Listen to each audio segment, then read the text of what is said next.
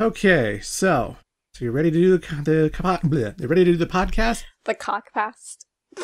The cock past.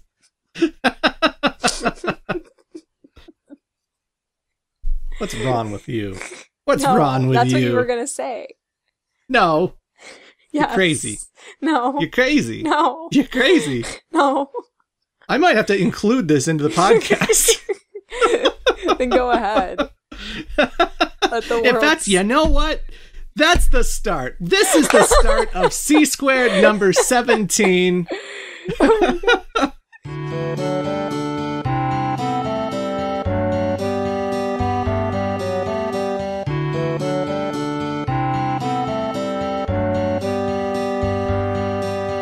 yeah it's been a while. Uh, a lot of stuff's been happening the last two months and it's been definitely quiet on my end, but I have been busy. I have been doing a lot of things, good lord. Mortal Kombating. And while I've been doing that, I've also been playing all of the RPG mega houses that have come out for the last Yes. three months. Yes. Because they dropped three major RPGs. They dropped friggin' Yakuza uh, Infinite Wealth, they dropped Persona 3 Reload, and they dropped, of course, Final Fantasy VII Rebirth, two of which we're going to get to at the end of this podcast.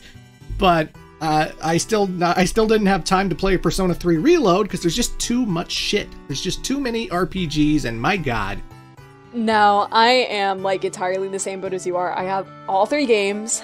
Um I went Okay, so just to sum it up super quickly, I got Infinite Wealth when it came out, and then I stopped playing Infinite Wealth to play Final Fantasy VII Rebirth. Now that I've beaten Rebirth, now I'm back to Infinite Wealth, and once I've beaten Infinite Wealth, I am going to jump into Persona 3 Reload. and I'm like absolutely fine with not playing any other video games for the rest of the year because I'm pretty happy. Um, Infinite Wealth and Rebirth as, as Infinite Wealth and Rebirth are my two most anticipated games of 2024. So I'm like done. I'm good. if I don't have to play any more video games for the rest of the year, I'd be so happy with that. So that's where I am too. Nice, nice, nice. So yeah, we were going to talk about some of those RPGs going later, but a month ago we went on a trip together to see something very, very special. Yes. We saw the building that was in American Psycho. Hell yeah! you know the lobby, the lobby where Yes. Christian Bale goes into, and he's like, "Wait a minute, this is in my apartment." Burning the midnight oil, eh, Slick? And so he pulls out a gun and he shoots him in the face. no, no, no, no, no, no, no. I think I think I know what you're talking about. yeah. You're talking about City Hall, which was in the Resident Evil movie. Oh From, yeah, like, the Ugh, that's so 2000s, that distracting. That's so distracting. Because it's like you're watching Resident Evil Apocalypse, the second live action version with Nemesis and uh, GTA motherfucker, that guy, and um, that final climax, the final battle between Alice and Nemesis, takes place right in front of City Hall in Toronto and it's like the most iconic building. It's like the most recognizable building in Toronto, other than the CN Tower, of course. I was And it's say. like, as a Canadian, you just can't help but be distracted that Nemesis and Alice are fighting in the middle of Toronto. Like I keep expecting to see the Toronto sign right behind them. She runs down City Hall. She runs down the building sideways. it's great. You showed me the clip. I haven't seen the movie, but I have seen that clip because of you. okay, okay, okay. okay. Okay. I must stop fucking around here. All right. We might or might not have gone to a symphony starring a particular blue hedgehog, and we may not have listened to this orchestral ensemble, which turned into a hell of a rock concert later on. But yes, um, we went and saw the Sonic Symphony in Toronto, and let me tell you, it was a hell of a wait for me because um, all the United States dates happened first, and Canada was actually one of like the later dates in that North American like leg of this world tour. Yeah. So it was so agonizing seeing like my friends go to like the symphony tour dates. all across the states. I had a couple friends that went to the Chicago one. I knew a couple friends that went to Seattle and Atlanta and LA. And I'm like, I'm so happy for y'all, but I'm still waiting. All just so you could go with little old me. yeah, and technically the closest ones to me were like, I had the chance to fly in October um to Chicago, but I couldn't because of like work reasons. And technically the closest date to me was New York in June, but I'm like, uh, I'll wait. But yes, I did want to wait to see the symphony with you and our friend Stefan, and no regrets. Absolutely amazing time. I cried a lot. The first thing I want to point out before we go, though, is that we had the absolute drip. Okay? we knew the assignment. Yes, we did. We knew the assignment and we came prepared and we dressed for the occasion. And uh, I went with a, a Eggman themed color style for my dress shirt and tie. And of course, you looked stunning as classic Amy Rose. Damn straight I did. I've had this outfit idea in my head for a long while, so I was like, yes, I have the top. I just need to get the skirt. And it just came together amazingly. It was awesome. It was great. I, I loved how many people recognized you. Yes. I think I recognize like another classic game. I'm like, wait, I know what you're doing. And it's like the Yeah. only place where I could get away with something like this. Amy Solidarity. Yes, Amy Solidarity. The best version of Amy. I am definitely more of a classic Amy type than modern Amy. I love modern Amy, she's great, but classic Amy was the Amy that I grew up with, so yeah. Not everyone wants the go go boots or the big red skirt. There's so many panty shots in Sonic Adventure. I mean, my god. oh gosh. it's true, though. It's true. We need to talk about this when they remake Sonic Adventure. We need to discuss how they can't do it again. No, sir. Red alert. But uh, yeah, we went to Meridian Hall, and um, surprisingly, I got recognized like maybe two minutes in. About five minutes in, we were going to the bar. 'cause I Yeah, wanted a drink. no, just we went in, and then we went to the bar Mhm. immediately because we're alcoholics. And uh, you didn't drink though. no, I didn't drink at all. No. Just you and Stefan. You and Stefan were trashed off your ass. That's all. No, we weren't. They were so drunk. Good lord, falling over each other. Come on. Stefan's the lighter one. Stefan had booze in his in his top hat. No, but we definitely uh, got recognized a few times, which was fun. It was very sweet. I mentioned it like when we did our MAGFest um, podcast, but it's just always very sweet when things like that happen. Like I wasn't expecting it, considering like I was in a different part of like the world outside of like the U.S. But um, to those of you that came up to me, came up to Clint, thank you so much. I'm very enlightened and heartened that like you love C squared. I don't know. It just make it, it makes me feel fuzzy. I get the little fuzzies. Yeah, I, I like that moment where I was like, "Oh, I love the C- I love the podcast. I love C squared." I'm like, "Oh yeah, yeah," and I kind of gesture to you, and you're like, "Wait a minute, this is Caro." yeah. It's very strange to hear that I got some people into Sonic, which is weird to think about. Because I don't even know how people discover me if they're not like Sonic fans. It's like I guess they just were interested in Sonic and was on YouTube in the early 2010s. Why me? Of course. I mean, okay, whatever. I I guess so. But yeah, what'd you think of the set? What'd you think of the the songs chosen and all that stuff? well, how many times did I look over at you during the symphony a few, a bit. with tears? I mean, it was the the most magical part for me was definitely the classic lineup because like nothing against the Sonic Frontiers songs or any of the vocal tracks or anything, but it's it's so different to hear songs that are usually in 16-bit processed kind of chip tune thing Mm-hmm. but like done with an orchestra. That just feels so much more magical. It feels so much more special. And again, Sonic the Hedgehog 2 is my absolute favorite video game of all time. It's the best friggin' game I've ever played, in my opinion. And uh, they did an entire medley just dedicated to that one game. It wasn't like they just did a medley for the classic era. No, no, there was there was a Sonic 1 medley, there was a Sonic 2 medley, and the Sonic 2 medley was just like, oh my god Yeah. that's the shit. Like that's that's what got me into gaming. That's what's kept me into Mhm. gaming. That's like the game that means the most to me. And to be able to go dressed up with a whole bunch of like-minded people to see Yep. my favorite game's music performed that way, that was a magical moment for me.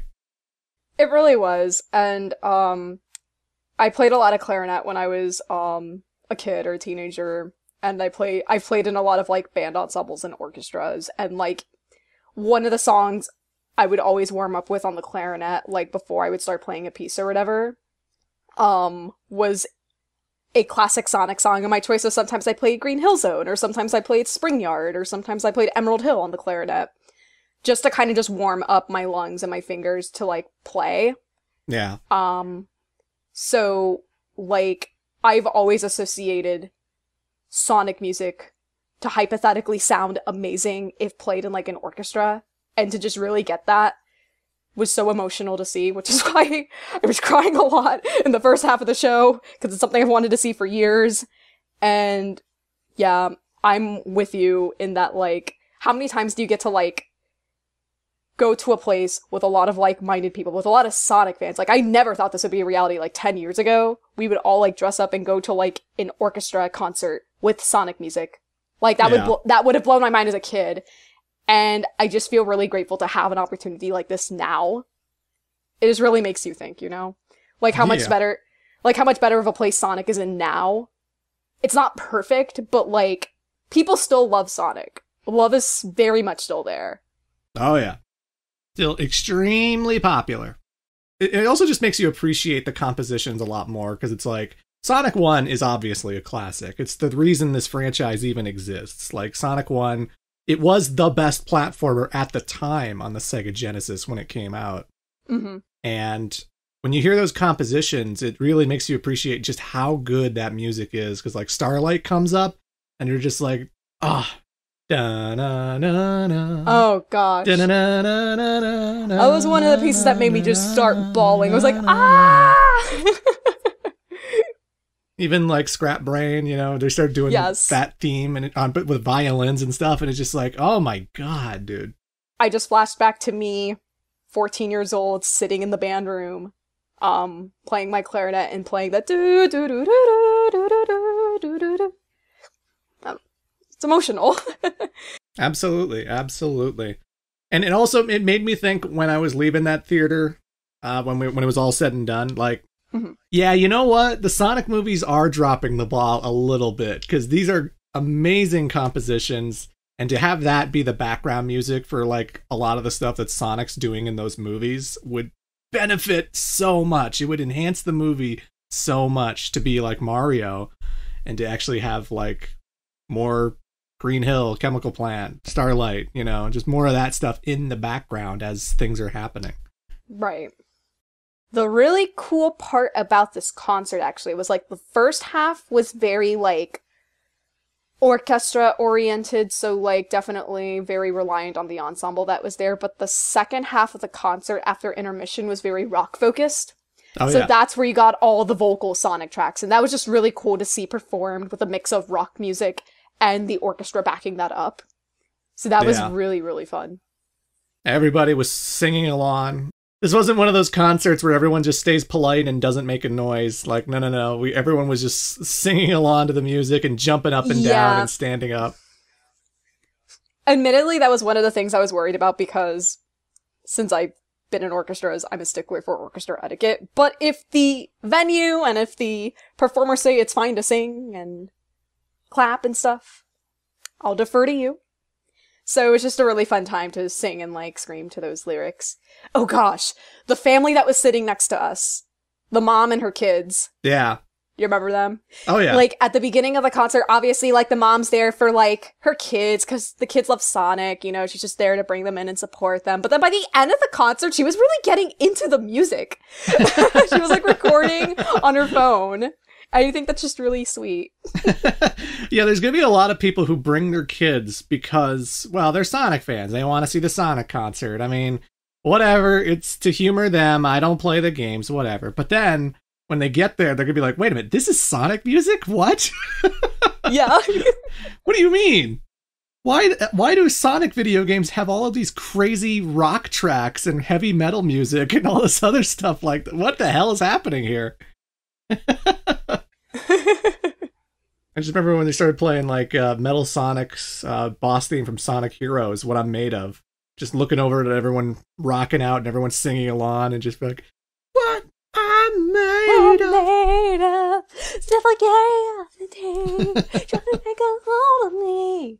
And the great thing is they have this really clean, really clean like uh, video going on on, on the projector, just huge, very crystal clear imagery that's going along with the music in time with the music. Yeah. So like, you know, you're not just listening to all of this nostalgia, you're watching all of this nostalgia. When they're playing what I'm made of from Sonic Heroes, you're seeing them actually battle in the in the game itself. You're actually seeing the boss fight and you're seeing the CG render cutscenes where Metal Sonic transforms into the mega monstrosity at the end and it was a big trip down memory lane because you you start remembering yeah. like they did a, a fun gag with the drowning music and classic Sonic's bit. So like oh yeah. the hmm. video would like zoom in on Sonic and Sonic looks like he's panicking and like and the crowd like starts freaking out like oh my god oh no and it was just it just reminds you of all the places this franchise has been and from the Dreamcast to the GameCube to the HD times and the Wii and all that stuff. And yeah it, was just a big trip down memory lane. It just reminded you of everything that Sonic has been for these past 30 years. It, it was of course you get emotional. Of course you get emotional watching that because it's just like oh my god this is such a legacy now. It really is, and I think it's cross generations because, like, it was so interesting seeing the reactions to different Sonic games. But I think unanimously, every single one of us freaked out for Sonic Frontiers when the music was being played. Like the kids, the adults, the teenagers, like unanimously, that was just like one of the most hype parts of that concert. yeah So Frontiers getting like some of the louder reactions of the night was very rightly deserved. Oh, for sure. I mean, when we went to the concert hall, it's like we didn't just see like nothing but neckbeard adults, you know? No. we saw lots of teens, we saw lots of uh, children, we saw lots of like younger audiences coming to see this thing. And it's like, I know I'm 35 years old. I played Sonic 2 when it was new. Like, I was there with the Genesis era. I remember playing these games when I was five or six years old, and it's like, you know, I, don't expect every kid to have the same exact experience I did. I imagine their first Sonic games are probably like Generations or Frontiers, just Frontiers, period, you know? Yeah. And no, like I I'm 27 and my like the current generation of games when I was like 3 or 4 when I started playing was like the PlayStation 1 and the N64 like that era. But um I was playing a Genesis at around that time. So I have that childhood very early childhood experience with the classic Sonic games even though it was after you know the peak of it Yeah. but also for me and for a lot of 2000 Sonic fans, our stuff was the adventure games, Heroes, 06, um, Secret Rings, Black Knight. A lot of kids in my generation really gravitate to those games. And it was just really fascinating to see, like, what Sonic fans really vibed for what games. You know? Yeah. Just hearing them cheer when like Shadow the Hedgehog is gonna play. Yeah. They're gonna listen to I Am All of Me. Holy shit. Like Shadow's my generation. When I was nine years old and got Shadow the Hedgehog for the GameCube, and he like held the gun up and glocked it at the beginning of the game, I was like, "Whoa, what's this?" oh my god. He's gonna kill Like these that humans. whole intro, that whole intro of Shadow the Hedgehog, as bad of a, of a game it is, that intro of Shadow was just wow, generational, formative for me at my age because I'm like, what the fuck is this? I'm gonna cheer for this from now on. I love when Mark he cocks the assault rifle. That's great. I mean, there's one thing that's universal is that Shadow the Hedgehog will always be popular. He will always Yes. be mega Amen. over popular. And I bet you, and this is an early like projection, but it wouldn't surprise me if this happened. I bet you that the box office numbers for Sonic 3 will be higher than the other two just because of Shadow. Oh yeah. Oh yeah. hmm It's like some people are saying like Sonic Prime wasn't that great, but you know what was great about Sonic Prime? Shadow. Shadow. he was great in it. yep. it was very, very, very fun time. I mean, I, didn't sc- sing along because I feel like that would have dr- destroyed my throat. And I was definitely more enamored. Not to say that I didn't, I didn't like the second half, but I was definitely more enamored with the pure orchestra stuff. I wasn't like. I, I definitely prefer when you're listening to old retro tunes that aren't normally presented this way, and it's just a lot more peaceful and it's a lot more. It just feels more magical to me that era Yeah. that that segment of the show rather. Now let me ask you, have you been to like other video game orchestra concerts before? Because um I've been to Zelda Symphony of the Goddesses 3 times. And then I think that's all that I've been to. Uh unfortunately no. I I I did have plans to go to video games live once upon a time. really? I didn't Yeah. know this. But in hindsight it's kind of funny because Tommy Tallarico is now a the butt of the joke and just a terrible human being. Yeah.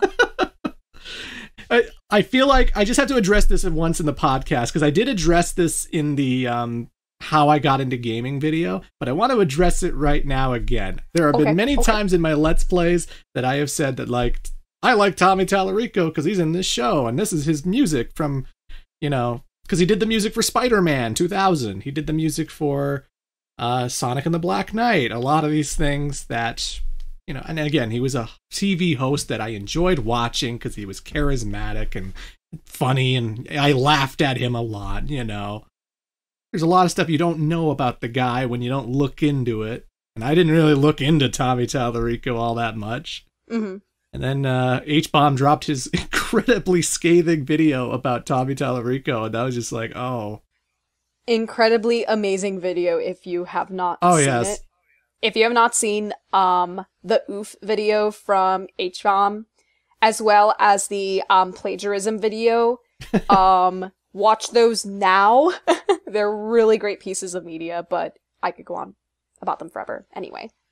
So I just want it out there. If you're listening to this podcast, I am aware of Tommy Tallarico, the real Tommy Tallarico.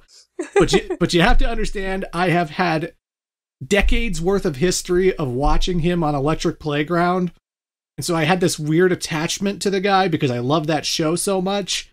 But I understand, and I will not support or prop him up in any way ever again Yeah.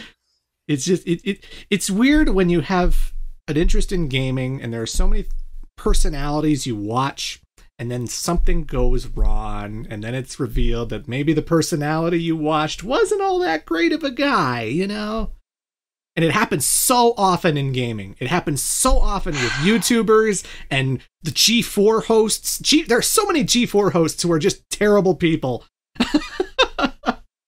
You don't need to tell me this. I'm a wrestling fan. oh This shit happens like once every other month. I'm sorry, kids. The world's very problematic, as you'll find out.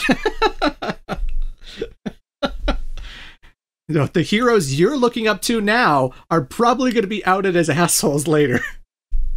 It's a very problematic world where capitalism, greed, and money will always be favored. And it will always be a thing instead of actual art and actual effort and actual hard work being propped up. And it's just a really it's a really big shame that this kind of thing happens like in entertainment and in video games and whatever all the time and we have to face like this reality and stuff. Yeah. Such as that I mused when unfortunately we had the dishonor to watch Sony's latest disaster, Madame Web. what a beautiful segue. What a beautiful, beautiful segue. I, I mean, do we have any closing thoughts on Sonic Symphony otherwise? no. It, Sonic Symphony is great if it's going to tour near you. Please go see it. Um, yeah, go see it if you have not already. but if you have seen it already, let us know what you thought of it and which songs were your favorites. Absolutely. But yeah, uh, while in Toronto, we wanted to watch something at the movie theater because we had time to kill. And what came out on February 14th, Valentine's Day, but the greatest movie ever, Madame Web. Oh no. Even my cocktail couldn't save me from this one. Yeah. This movie was garbage. and I'm and you know me, I am normally a connoisseur of things that are so bad they're good and you can get some form of like laughter out of them. That's why we went to see it. Yeah, but we didn't get that though. well, except for one thing, but we'll probably re- elaborate on that later. Nah, for sure. But uh we were hoping this was gonna be like Morbius goofy or just just some kind of goofy, just some kind of bad goofy, and nah, it's just bad. No. It's And it's not like I expected it to be good. The whole reason I went is because I thought it was going to be so bad it's good. Like I thought it was just going to be something we was we could laugh at, and it was to an extent. But because like I just think it's so lame, so lame that Sony, in order to keep hype for Spider-Man, they keep coming up with all of these stupid spin-offs that don't have Spider-Man in them. Just so they can be like, look, we're building a cinematic universe. We have the Spider Verse. Because after this is going to be Kraven the Hunter. They're going to make Kraven the Hunter come out and he's going to have his own movie as if that's a character who can stand alone. And I think Venom 3 is coming out later this year, I believe. Venom 3. Yeah. Venom 3. Yep.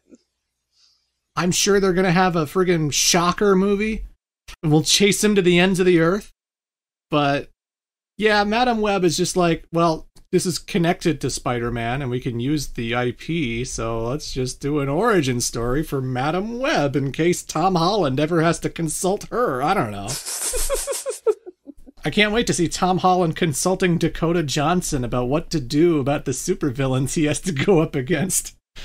You know, Mr. Parker, I was there when you were born. I was at the hospital when they rushed Uncle Ben to the hospital. That's the weirdest development. Like Peter Parker's in this movie technically. Technically, Yes.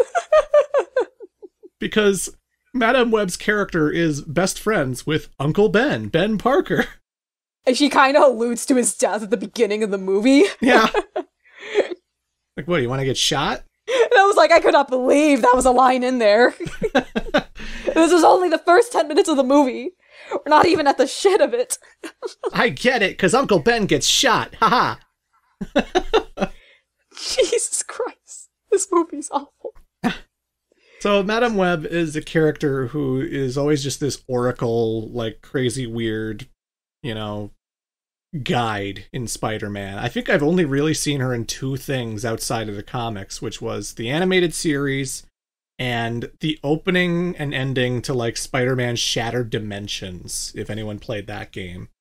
Otherwise, I don't think Madame Web is that big of a player, and I don't really care that much about the character at all. Yeah.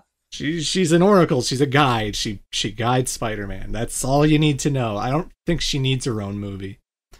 Yeah, and somehow they made this into like a two hour movie. So we got poor Dakota Johnson just saying these horrible, horrible lines where she just has to like deal with all these visions that are being put into her head because she was born of a weird spider cult in the Amazon in Peru or something. Yeah. Ah, the villain. I love the villain of this movie because he's such a bad actor. The only enjoyable part of this movie was everything that came out of the act- the villain's mouth. it got to the point where anytime he came on screen, I knew I was ready to laugh. I knew something funny was going to happen because there is just something so unnatural about this guy where he is always monologuing his evil plan and monologuing what he wants to do. He takes this woman to bed so he can get like access to his to the CIA's crazy security system so that they could spy on everything in New York and see everything everywhere because uh he got bitten by a spider, or he got the spider powers. So he's kind of like an evil Spider Man, I suppose. Yeah. And he has a vision that all of these spider women are going to fight him in the future and kick his ass. And this is the only time that you see Sydney Sweeney and all the other actresses in full costume Yep. doing Spider Woman stuff and kicking ass like it's a superhero movie or something. I don't know. the only only time you see it in the movie is when he flashes back to the vision he has of the future of when he's going to get his ass kicked and he's going to be dropped out of a building. And you would think that like okay, the I guess the movie's going to build up to this moment, yeah, but it doesn't. it never does. It never it never does. happens. It doesn't show up. Nope. So he's taken this woman to bed and he's and he's just had sex with her and he's also I think just poisoned her or something. Yeah. So he's fine monologuing his evil plan and why he took her to bed so that he could get access. And this is the cadence of his performance. He's just like, I will use your power to get into the CIA's mainframe, and then I will spy on everything in the world because I had a vision of the future in which three spider women killed me. I want to prevent my death. I'm going to kill them before they get to me. that is honest to God the Yeah. performance. so there'll be moments where him and his little assistant girl are spying on things, and they just amazingly have the greatest track record. They just know instantly where everyone's going to be at any given moment because this technology is just magic. Yeah. And who was that woman who who saved those girls from you? Who is she? It doesn't matter. She's not important. What's important are the girls. I must kill them for the good of my visions. I I literally told Clement that like he sounded like some cheesy ass like Sailor Moon DiC Dub villain. that vibe. it really was and it, it's just baffling like i was laughing that's the hardest i laughed during the whole movie was just at that guy because his delivery was just so abnormal and so strange and you know he's the main villain of the movie so this is a big failure that he's not that good Yeah. But then the whole movie is just like, well, Dakota Johnson knows these girls are going to be killed, so she has to try and snatch them away, and she uses her visions to know that, okay, she's going to get her neck snapped by evil Spider Man in the diner here, so I'm going to just get them out. And then she gets them out, and there's no problem. The cinematography also just was just bad. Yeah. It felt like there were just so many cuts and cuts and cuts and cuts and cuts. Yeah, it was very uh, strangely edited at times. Yeah. Yes. The problem with the movie is that most of it is just like Dakota Johnson leading these girls away from the bad guy, and then for some reason something goes wrong where it's like, okay, she leads the three girls into the woods. Like there's no security cameras here. Not that she would know that, 'cause she, like she wouldn't know her the, the the bad guy has this crazy surveillance system, but she does, I guess. And she leads them to the woods, and she's like, "Stay here for a few hours while I figure out what's going on." And they're like, "Wait, for you can't just leave us here in the woods for hours. She's just met these girls for the first time, like for an hour. She like Oh, she yeah. just met them. And then like it's not even like 15 minutes where it's just like the one girl has eaten all of the food they had. She's eaten all the snacks, all the chocolate bars, all the chips, and she's like, "I'm still hungry." it's like, "What do you mean you're still hungry? You just ate all this food." And so they're like, "Well, I know there's a diner over there. We should leave this spot and go over to the diner." And of course, they go to a diner and someone recognizes them and Oh, that's the other thing. Like the Daily Bugle was already reporting on like the the cop who got injured and all this mayhem that happened the first time, even though it just happened and it's the same day. Oh yeah. Like I don't think they would publish this story until the following day, especially if it takes place in the 2000s. Like, what do you mean? it's boring and it doesn't make any sense and strange actor cameos in this thing where like Emma Roberts is in this thing. Oh yeah, I forgot that she was in it. Emma Roberts plays Spider-Man's mom. Like Adam Scott, who you might know from Parks and Recreation, is like Uncle Ben in this, even though he doesn't really have much screen time. And the only reason he's Uncle Ben is because they have to have some connection to Spider-Man. Get it? It's Uncle Ben. and so oh, this is another amazing thing. They, they, they at some point brought the girls to hang out at Uncle Ben's while she was in Peru because she wanted to find out the origins of this visions she was getting and stuff. And and she managed to hide them with Uncle Ben for like a week or so. So whatever this guy's surveillance system, whatever this guy's CIA magic operating system, he couldn't find the girls at Uncle Ben's, and they never went out for food other... or anything. That was the other thing you reminded me. Thank you. That was the other thing that I got irrationally angry about, which made okay. no sense. So if she's on, if she's like being hunted on right now, and like she's a suspect, she's been on the Daily Bugle, and people are looking for her. Oh, How oh, the right, fuck did right. she get through TSA post 9/11? Because this movie takes place in 2003. How yeah, the fuck yeah. did she get through TSA without getting arrested at all? like what? You mean to tell me that she got through security? She got through JFK or whatever airport she flew out of New York unharmed and without any suspicion, and she got on a plane to Lima and traveled some distance to the Amazon with no suspicion. I call bullshit on that. That's bullshit.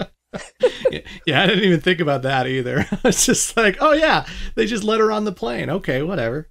But it's like the girls have been hiding at Uncle Ben's for a week, and then uh Miss Parker's water breaks. Oh no, she's having birth. She's she's gonna give birth to Spider-Man. And all the girls decide, well, we're gonna go with her.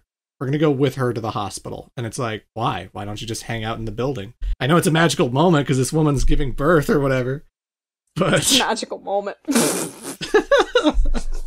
well, you know. oh. Every time anyone has a kid, it's magical, whatever. That's would be one way to put it.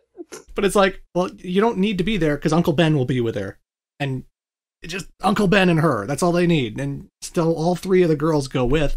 And then, as soon as they get down traffic, they're they're not even in the hospital. They're just in traffic. They're at a car stop, a stoplight identified. Oh, they're over here. Go get them, villain. it's like, come on. it's a bad movie. I'm so sorry, Sydney. You couldn't save this movie for me. I'll stick with you in Euphoria.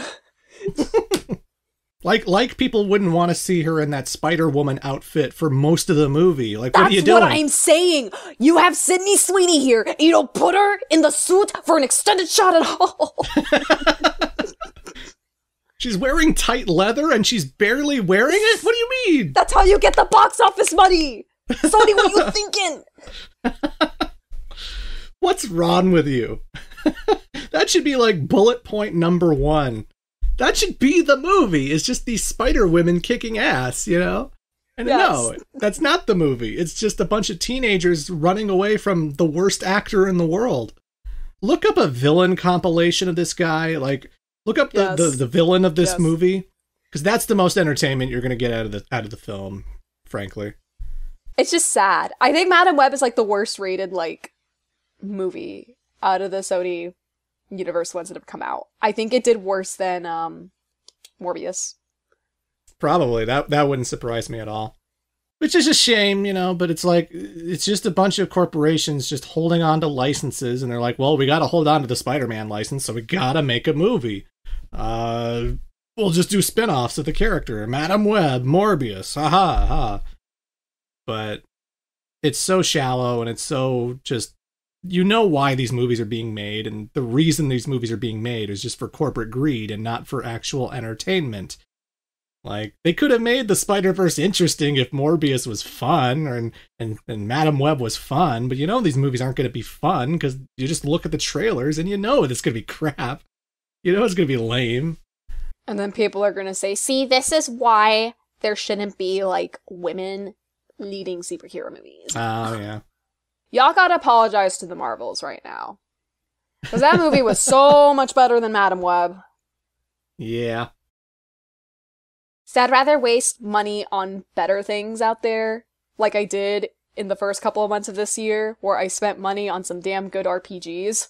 Yeah. In Yakuza Infinite Wealth, that is an infinite load of fun, and it is very well worth my money. I am still playing it as of this recording, um, but I'm near the end. Ish. I love your segue game. You're getting really good at it. oh, am I? the way you transition from topic to topic is just mwah, perfect. well, let me handle them from now on. Okay, you will. You shall. I don't even need to tell you. I'm the decider. But yes, uh, Like a Dragon, Infinite Wealth came out, and I did get that. I, I guess I'll start up front by saying, like, we I don't think we've really we have talked about Yakuza in the past because I remember we we were talking about Yakuza Zero and Yakuza Kiwami, um, hmm maybe in like podcast three or four. Like it's been a while. But Yeah. uh, I have gone through the majority of the series. The only Yakuza games I haven't really played are Ishin, which I own, and I'll get to it when my backlog accounts for it, you know? Yeah. Uh, and I haven't played The Man Who Erased His Name, or The Man with No Name, or, you know, the newest The man Cu- who erased his name. the man the newest Kiryu adventure, basically. Um, those are the only two I haven't played. I've played Judgment. I've played uh, Dead Souls, the zombie game on PS3. Uh, I've played all of them. I've played every single one up to this point, so I know the legacy of Kiryu and I know his whole life story.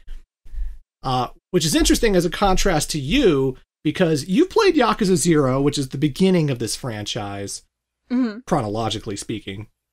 Yes. So you're more of a newcomer and you're more familiar with Ichiban, I would say, than Yes. Kiryu's adventures.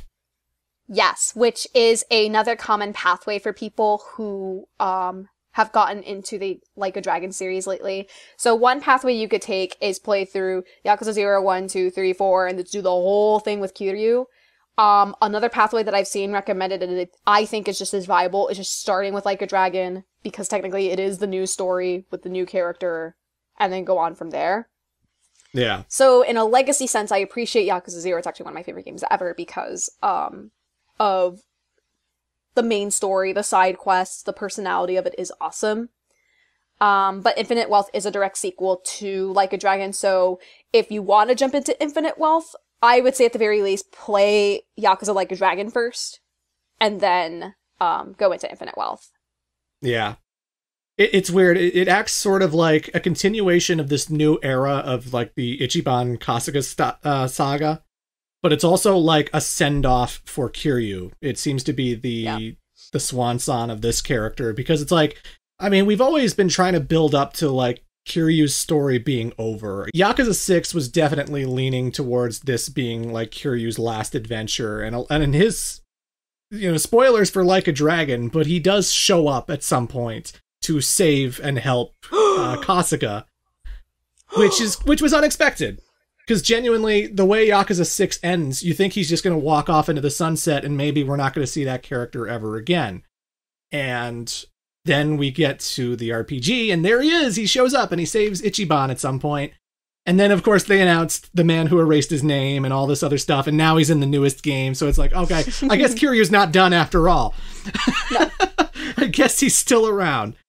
Um, we always thought of like these RPGs, like the fact that it transitioned from action gameplay to turn-based RPGs. It just felt like a new era was unfolding, a new era, and if we wanted action-style stuff, that's what the Judgment games were for. But then I think the Judgment games had a bit of a controversy going on with their actors, and now I think they're I think they're giving up on a Judgment. I might be wrong about that. Yeah. Point is, you know, it felt like Kiryu had a send off, And now Infinite Wealth feels like especially more of a send off, more of like we're passing the torch to Ichiban. We're definitely giving this character the goodbye that he really deserved in Yakuza 6, especially with the side quests tied into Kiryu's whole part of the game. Yep. He's running into familiar faces. He's remembering things from the past seven or so games. He's remembering this and he's doing this and he's doing that. And it, this feels like a bigger you know, goodbye, let's say, uh, for the Kiryu yeah, character. there's a particular circumstance that holds over Kiryu in um, Infinite Wealth, and based on the side quest that you do with this character in particular, a lot of it makes sense. Yeah. And I think I'm getting more out of it than you are, but I don't, I don't know if you're still appreciating uh, those side oh no, stories. it's very. I appreciate the depth of it at least because like, so I haven't played through all the original mainline Yakuza games, but I've gotten like bits and pieces of it. Yeah. Whether it was like, I don't know, watching Super Eyepatch Wolf talk about it or um watching, I don't know, a couple of friends talk about it or watch a clip for here or there. So like I get it in bits and pieces, but it's not like for me it's a whole streamed out experience. Um but it's still really cool seeing like all these callbacks, how much love they've put into the character and the story of Kiryu. Um, so I've been enjoying what I've been getting out of them. Yeah. You know, it, it, it's just interesting to kind of cap off Kiryu's life and to see what he's learned throughout everything he's been through from Yakuza 0 up to this point and to see how he reflects upon it and how everyone feels about him. Like this is feels way more final than Yakuza 6 because we actually get to hear everyone's opinions on Kiryu and how they how much he's impacted their lives and why they me- he means so much to them. Uh, which is heartwarming and it tugs at your heartstrings and it makes you shed a little tear. Um,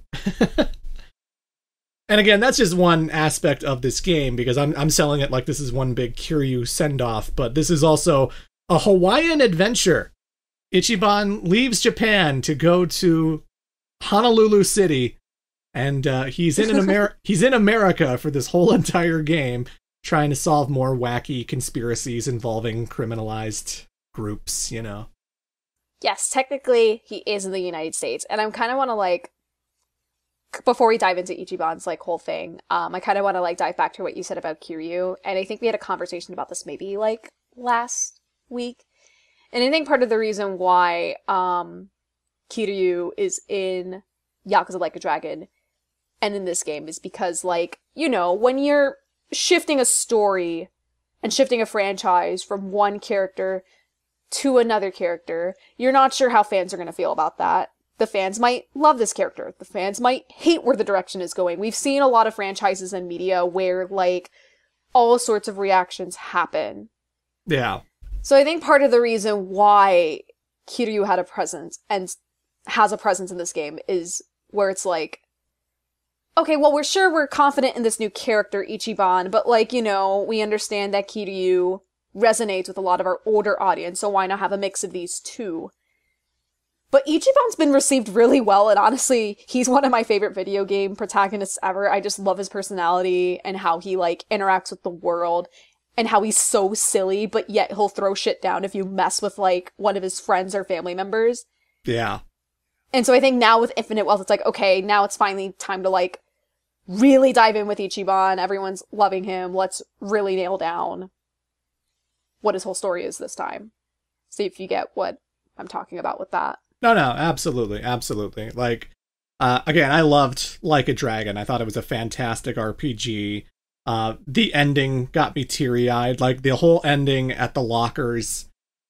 I guess I spoiled this location, but the whole ending and the big monologue that Ichiban has, where he has got tears in his eyes and he's just like emoting like so hard. I just I remember thinking like Jesus Christ, this is a good ending. It, it reminded me so much of the Kiryu Nishiki scene in the woods in Yakuza Zero. Yeah. Like it was he was just pouring his heart out and it was such good acting and I was just like, fuck, what an ending. What an ending to this amazing RPG. Good lord and yeah, it, it just it was fantastic, and I feel like Infinite Wealth does a lot of great changes to the combat system that makes it a little yes. more strategic, a little more interesting.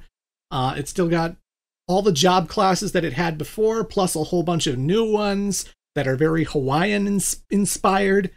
So you have uh, the Aquanaut, where someone is a surfer and they kill people with a surfboard. Um, you got the, the the hula dancers kind of stuff where they're wearing the hula skirts and the coconut bra and they're shaking their maracas and doing all kinds of magics that way. Um, and then you have some that like aren't exactly related to the tropical setting, but are new jobs regardless. So there's um, an action movie star that you can be where you have like a ton of action moves. You can be a cowboy where you can shoot. Oh, I love that um, one. That one was people. great. Yeah, I have I have Ichiban equipped with that job now actually. Um, I wasn't Ichiban with that, but I gave it to Adachi. I thought Adachi because nice. he's security guard. He's like he's the he's the cop. He's got to have the guns. Come on. nice. And he just has so many. I love so many abilities from that because like he can shoot this bottle of water at them, which not only does water damage, but it also has the chance of poisoning them. So yeah. it's splash damage. It hits a big group of people, and it can potentially poison. I love it. you can be like this assassin ninja. Kunoichi because I'm doing a video on Mortal Kombat, it just kind of took me off guard how much she looks like Scorpion when she's dressed like that. mm-hmm. like, oh my god, she looks like a Mortal Kombat character. Jesus. Oh, you can be a housemaid? Yeah, that was actually one of the better jobs, too. She'll literally pull out two irons to burn people with fire damage.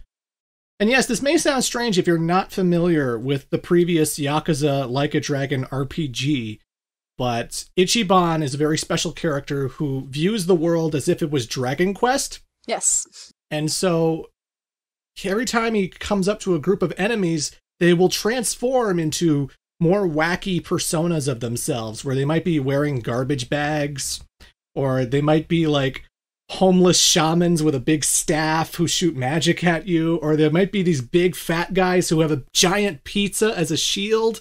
Or they might be like evil botanists that throw weird pollen at you. Oh, I hate those guys. Those guys are assholes. Oh no, these are horrible.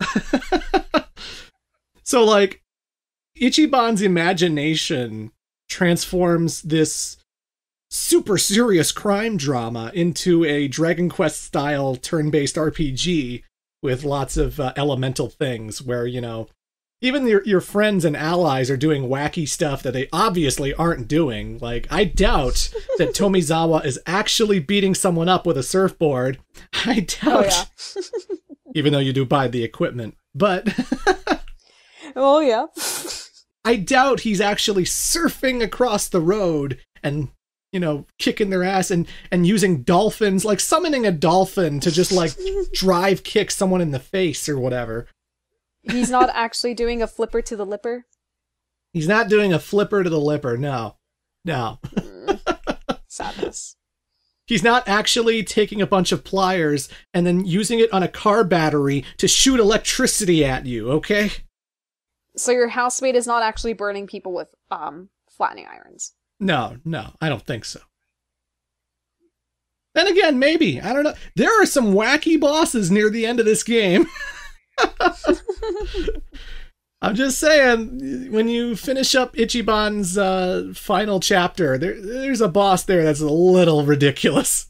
And I'm wondering how much of that is his imagination or is this actually ridiculous happening? in a good way or ridiculous in like, oh, this is ridiculous. I had fun. I loved it. I thought okay. it was stupid, goofy fun, but it's also just like, are we. Did Yakuza actually do this? But then again, you know what? You know what? Yakuza 4 had a side quest that involved a mythological creature. That's all I'm going to say. That's all I'm going to say. Okay. okay. It, right. if it's if it's okay for Yakuza 4, the game in which there was no crazy imagination turn-based combat, then I'm sure it's good enough for the rest of the series. So I'll take your word for it. Honolulu is huge. Like it's a huge map and there's a lot to do and there's like a lot of beach space. Um I love the new characters. Um I think they're really great foils um to what Ichiban's experiencing um in Hawaii. And minigame wise, there's always you know, it's it's like a dragon. There's so much to play. Yeah. Yeah. you can make deliveries on bike You can photograph people while you're riding on a trolley. Oh, and and in those two instances, we have to mention that like yeah, we're doing like crazy eats, crazy eats delivery, where you're on a bike and you have to get to these people in a time limit, and you have to do these cool, sick tricks in order for the delivery to be to get a better payout bonus, like super crazy delivery. Super crazy delivery. This is crazy taxi as hell. Like the guy Yeah. you do the mission for has a red shirt and green hair, just like the guy from Crazy Taxi. Mhm. And then again, this is a Sega franchise, so that's not shocking. That's not like the craziest thing in the world. But there's also a lot of Nintendo inspired mini games this time around that are really tapping into that library of games because when you say like you're taking photos like the Sicko Snap stuff, Yeah, the sicko. Snap. that is just straight up Pokemon Snap. Like you, you get on this trolley and there's all these like weird perverts and weird creepy weirdos who are just wearing thongs. I swear to God, this is real. And Yeah, they're all bald and they're all naked, and you're just like on this trolley going through the city and taking pictures of them when they come up and trying to get, trying to snap them all. You're trying to snap them all. Yeah, and try to snap them all. Speaking of Pokemon, there is um so enemies you encounter in this game are called Sujimon. And technically every time you encounter an enemy, like you get a new entry in your Sujimon, like Dex or whatever they call it. Yeah. But in Infinite Wealth, you can actually pit your Sujimon against other people like it's Pokemon. And there's a whole Sujimon league with Sujimon stops like it's Pokemon Go. And you can feed your Sujimon to make them get stronger. You have to take out the discreet four. Not the elite four, Yeah. the discreet, the four. discreet four. And you got to get their badges. so, yes, Infinite Wealth actually has a Pokemon sub story, and it's a, a whole dedicated thing where every enemy you've come across has the potential to be recruited by you, and only instead of using a Pokeball, Ichiban gives them like gifts. Yeah, like a box of gifts. He gives them like a, a, a box of uh, valuables, a box of treats and stuff. And you have to mash the button really, really hard to see if they'll accept your gracious invitation to join their party. And sometimes they'll kick the box away, which is disappointing. And other times they'll be like, yeah, I'll join up with you. Yeah. but it's like every single enemy is like, you know, element based, where they're either fire, water, grass, or light and shadow. And the idea is, yeah, it's it's like Pokemon. It's like rock paper scissors. You're just trying to get like the advantage over them. Where if there's a water type enemy that you're taking on, then bring out the grass type Sujimon in order to beat them down. And uh, I got pretty much near the end of that whole thing. I didn't finish it, but uh, it it definitely goes places. It definitely goes places. I also like that they have the the dojo guy from Yakuza 4 as sort of like your Pikachu. He's wearing the big yellow gi. Yeah. He kind of looks chubby like Pikachu. He he's your Pikachu. And he doesn't say Pika Pika. Yeah, he doesn't say Pika Pika, unfortunately.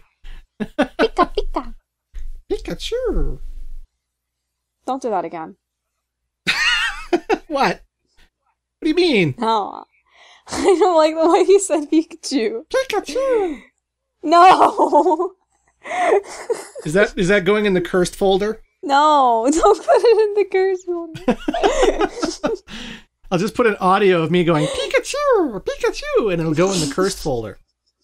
It sounds like you're driving a white truck full of candy around the neighborhood. Hey kids, want to see Pikachu? Just come into my creepy van.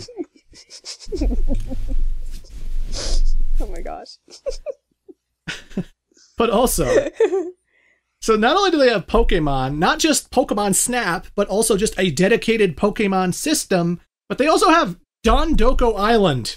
So this game not only was able to fit Pokemon Snap and Pokemon, they fit Animal Crossing into Infinite Wealth 2, and Dondoko Island is such a time sink. Oh, in a good God. way. It's very addicting. Yeah. Like you're gonna be spending hours finishing that thing because it's like somehow Ichiban manages to meet a whole bunch of weird mascot people who kind of look like Animal Crossing characters themselves because you know what's the premise of Animal Crossing? It's a human interacting with a whole bunch of animals, but you can't do that in Yakuza. So what do they do? Oh, it's a bunch of mascots. He's just interacting with a whole bunch of mascots, and he's on an island and it used to be a four star resort hotel kind of place. And unfortunately, some jerky pirates started polluting the place and throwing their garbage all over the place. So Yep. you have to clear out the garbage and then you have to build all kinds of stuff with a crafting bench. And you build the ridic- the most ridiculous, gigantic things that I can't believe Ichiban is building. Where you're building entire buildings and gold statues and cars and stuff like that Yep. and you're basically just trying to raise the comfortability, the popularity, and the excitement to this place so that people will want to check it out, so that it will become a one star, two star, three star, four star, five star resort. And uh, you can customize it any way you want. You can have houses arranged anywhere you want. You can pave the roads to just just go wherever you want the roads to go and it's it's just animal crossing. It's just straight up animal crossing. It's it's i don't know how else to describe it. It's animal crossing but with yakuza. A very interesting crossover in theory. it's just it's just wacky to me how the more these games go on the more they start incorporating all of these franchises like and not just sega but like nintendo franchises. Like in the last game in like a dragon they had a fucking mario kart minigame Yeah. You can literally race on the cars. Like a whole dedicated kart system with like tons of racetracks and stuff. Like you could customize the carts and everything. Like they had a whole Mario Kart thing in the last game. Uh, I just I'm always baffled and but also happy that the Yakuza games always happen to have these crazy gigantic things on the side that you don't need to do. You don't need to do it, but it's there and it's so friggin' fun. It's insane. It's wacky. and you get like a lot of good like bits of lore or maybe some fun info out of like doing them. That it just really ties the whole experience together. Like there's definitely like more hours you can clock into all the side content versus like the main story, I would say. Yeah, yeah, for sure. I, I, I couldn't even imagine just doing the main content in a Yakuza game, though. It's like Yeah. the side content is so freaking good in all of these games. To me, the Yakuza franchise is like the gold standard when it comes to side quests. Because I will be playing Yakuza 6, and it seems like a straightforward story about a guy looking for a certain person, and all of a sudden he joins a baseball league, and now I'm playing baseball with the boys. Yeah. Now he's going deep sea diving so I can go hunt some sharks and shit. it's such and then other games and then in other games you own a club or maybe you're a taxi driver Oh. or the cabaret club is brilliant. I love the cabaret club. Cabaret club is is so good. It should be its own game. Like I want this I this that. developer studio to just make a cabaret club game and maybe expand it a little bit, give it extra things to do, and just like make that its own game that you buy for like 20 bucks, 13 bucks or something. Like, I don't know. But God, that playing that in Yakuza Zero, I got addicted to it. I just kept playing it and playing it and playing it. And it was the best way to get money for Majima. Uh, it was just insane. It was crazy how much money you could make in one session. Oh yeah. oh yeah. You can make millions. Why make millions when you can make billions? Mm. they still have arcade machines, so you can go play Sega Bass Fishing and some weird Sega games I've never heard of before, like Spike Out and stuff. No, I've never played Spike Out. Yeah, That was the first time I played it. the vocational school where you do trivia is so funny. I nailed the Sega ones on my first try. I didn't even to do them twice at all. I just nailed those. Yeah. Flowers took me like four or five tries though. I couldn't get flowers down at all. I got flowers in one try. Oh, I am a trivia master. a lot of these I got in either one or two tries. Yeah. I'm sorry. I like I like trivia. It's eh, neat. I, it, it's it's a good flex to say that you're smart and you can you can solve trivia. I mean, I'm not complaining. You just gotta up your ante with underworld studies if you want to get that courage. Because you got to build all that stuff up again. Poor Ichiban. He's had a bad year. he got exposed by a Oh, VTuber. yeah. Literally the plot of the game, or at least how it starts. Yeah. I was dying. I was loving that the premise of the game, the reason everything's gone to shit since the last adventure, is that Ichiban's trying to reform a whole bunch of Yakuza. Now that the whole Yakuza system has been kind of upended after after the last game. Like the Yakuza are no longer what they once were. And people are trying to reintegrate themselves into society, and Ichiban's trying to help them do it. But Yeah. this gets exposed by a VTuber who filmed them and filmed them doing some kind of sketchy stuff like shoplifting in order to prove that something was easily shopliftable. You know, it was it was for a good cause, but it was kind of sketchy. And that's the other thing I like about um, this game is that um, I believe this game takes place in 2023. Yeah. So there are mentions of real world stuff. So the pandemic is mentioned in this game, Yeah, yeah. and it has consequences on real world stuff. So I just thought that was fascinating.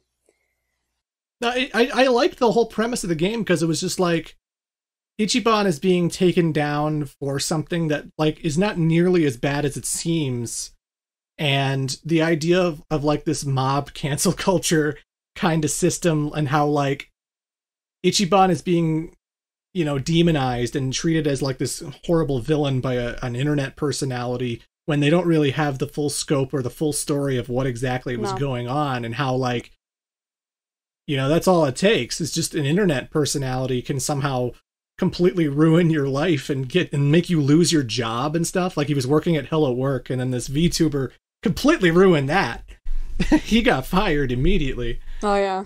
and also the the poor situation with Saeko where he he has feelings for Saeko. This uh, development since the last game. He's got feelings for Saeko and he, he's really into her and she agrees to go on a date with him and he's cheering. He's like yeah i did it! I did it! Dancing with all the homeless people.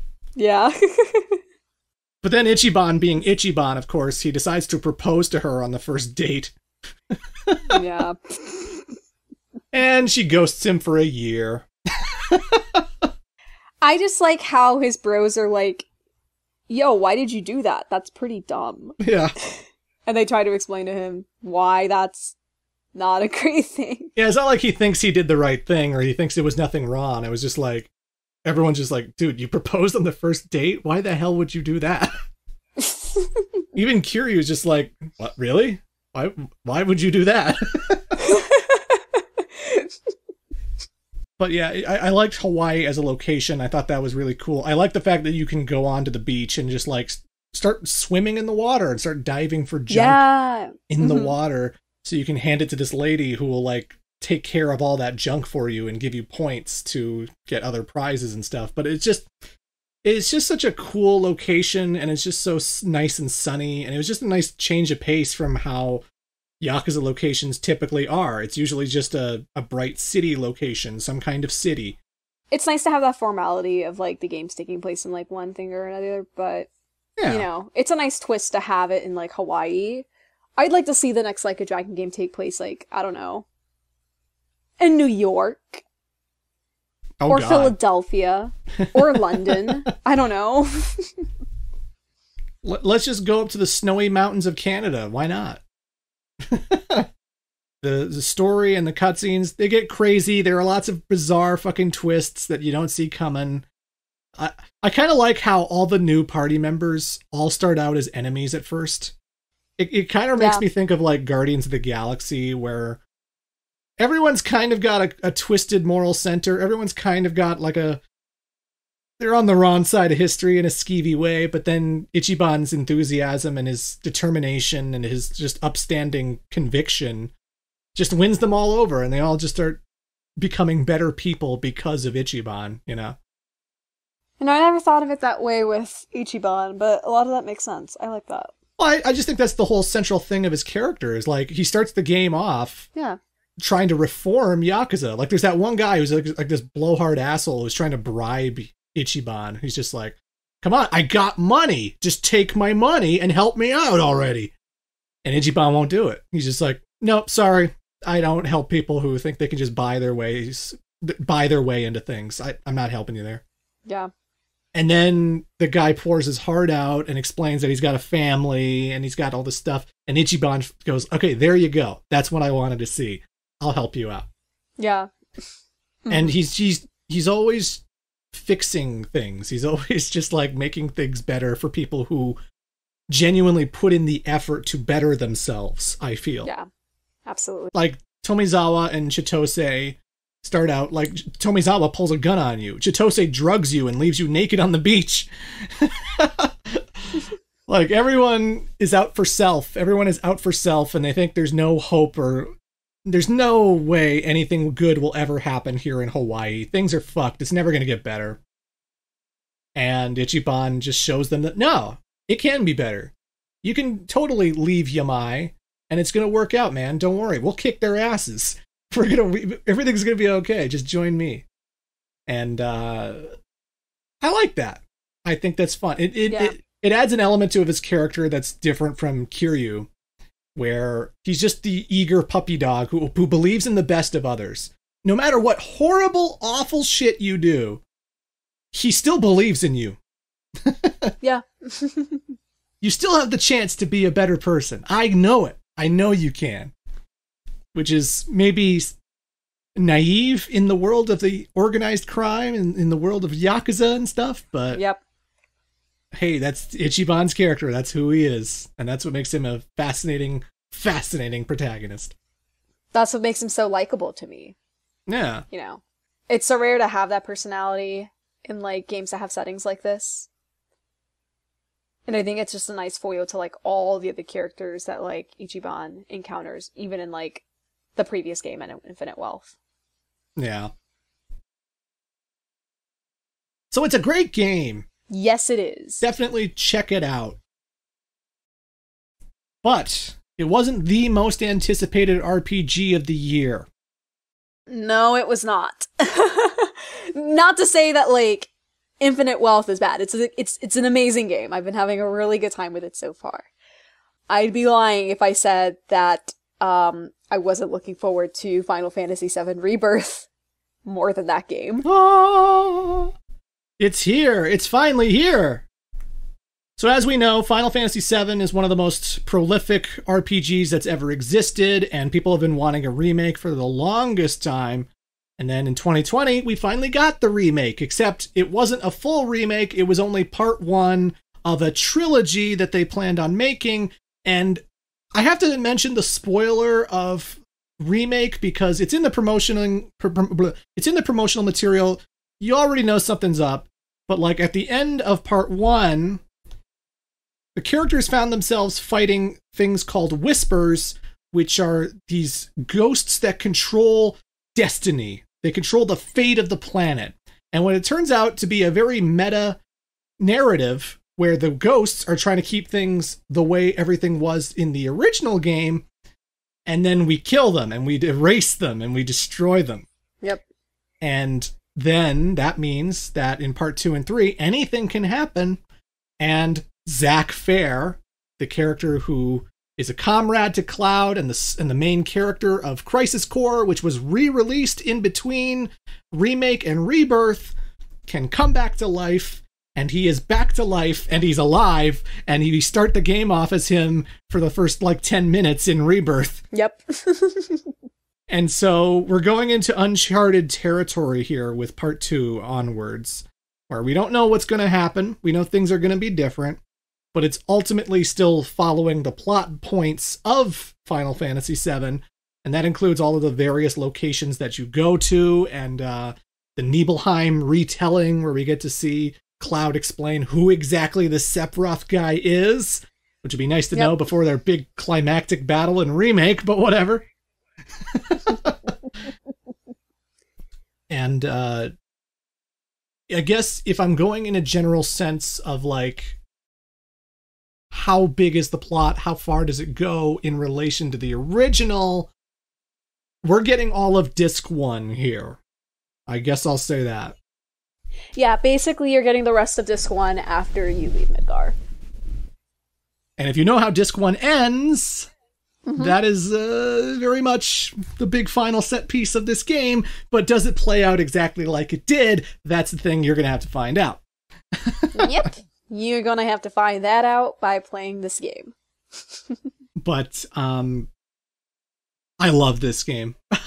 I loved Oh, yes. this game so much. Final Fantasy VII Rebirth. I knew it was going to be my game of the year, and it, it. I just don't see anything eclipsing it. This is my game of the year. I know. I feel so bad for Infinite Wealth because I just talked. We just talked about how much I love that game.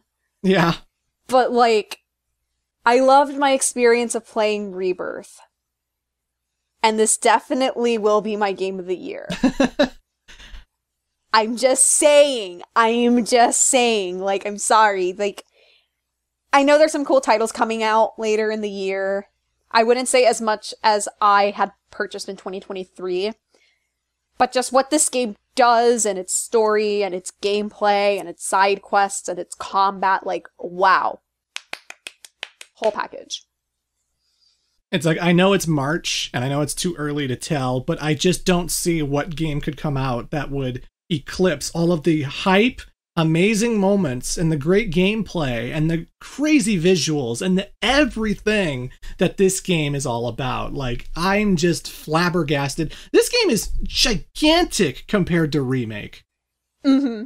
If Remake is a 40 hour game, this is like a 60 to 70 hour game with side quests and and bonus content that pushes it into 100 hours. This is like way bigger than Final Fantasy 12, which I thought was at the time the biggest Final Fantasy game up to that point. Yeah.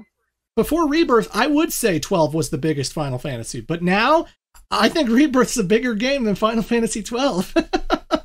Yeah, because that was always my question going into Rebirth. So it's like, okay, so obviously we're out of Midgar, and the game's going to be more like open world, just like in the original version. So, like, with current open world mechanics and how that's represented in a lot of AAA titles now, how is Seven Rebirth going to interpret that? And yeah, there's a, there's a lot. there's a lot of content here. I was shocked. I was shocked how big the world was. I was shocked how many open world maps there were. Because, like, Yeah. you've, you've got the grasslands of the start, you've got Corel, you've got Gongaga, you've got Junon, you've got. It just goes on and on and on. And it, it's got to the point where I was like, are they just going to remake the whole fucking world in this one game? like I thought we couldn't I thought the reason this game was being split apart into a trilogy was because this game is too big and we can't do it. But it felt like they were making the game. It felt like the whole of, of the planet was being in this one game. I was shocked. Yeah. Because you see everything. Like you go to the Chocobo farm, you go to Kalm, you go to Nibelheim, you go to Junon, not just the under part of Junon, but like where the parade and stuff is. And I loved that location. I loved. But I'll get into it later. But yes. you know, you go to Costa del Sol, you go to the Gold Saucer, you go to Corel, you go to Gongaga. Uh, it's crazy how many places you go to, and they're all fully. You go to realized. Cosmo Canyon too. Cosmo Canyon is huge. It's friggin' huge. Like out of all the villages, places you go, I, I was surprised how big Cosmo Canyon was, and I was just like, "How is this game still going? this game is huge." And now we know why it takes two discs to install this game. oh yeah, this is 145 gigs. Like you're gonna be clearing space in your PS5. I don't know what you're deleting, but you're deleting something because this game is gigantic. Yes. I would say for the most part, the combat is exactly the same as you remember it from Remake, but they do have a lot of cool quality of life things uh, regarding some of their abilities. Like Cloud, has a lot more ranged attacks this time around, which I'm so thankful for. Like Yeah. before I, I criticized the the air combat in the original game because I just felt like when you're playing with Cloud and Tifa, sometimes enemies you would just be so hard trying to hit them because it would take like a slight second for them to like jump up where they are and if the enemy swerved out of the way to do an attack then you're just swinging at air and missing and doing nothing. And i thought air combat was could have used a little fine tuning in the original. But in remake um, when cloud dodges or when you push the dodge button and then you start attacking immediately afterwards he has blade beams. He shoots blade beams out Yeah. of his sword and he shoots a whole bunch of lasers into the sky so that you can be a fair distance away from something that's flying around and you can still like hit them with projectiles constantly in order to pressure them and, and drain and raise their stagger beater and stuff. So I feel like there's a lot more versatility there. I feel like Tifa and him jump up way quicker to flying enemies when they got to get into it. Yeah, yeah. Um, they got a lot of cool new skills that do a lot of awesome damage and a lot of cool tricks. I like um Barret's. He's got this thing called bonus round. He like ch- charges up his gun, and then all of his bullets do extra stagger power. So when you activate bonus round, it actually makes the stagger bar fill up so much quicker that you can like get them into their staggered state a lot faster. And Yeah. of course, along with Aerith, Barret, Tifa, and Cloud, we also have a whole new cast of characters because we get to play around with Yuffie, we get to play around with Cait Sith, and we get to play around with Red 13. He's not just a side character who fights on his own. We get to play as him this time around. You get to play as Red. Yeah. Uh, Yuffie's fantastic. Yuffie is amazing. She's so fun to play as. I like Red in the sense of like he's very much a berserker type character where Yeah. he he takes damage and it builds up his rage meter, his vengeance mode. Uh, and then when it's full, you just push the button and boom, he's so much stronger. He's so much more vicious. He can do all these skills he can't normally do. Um, he can also siphon people's health and like drain it for himself, which is fun. So um, I feel like Red is really fun.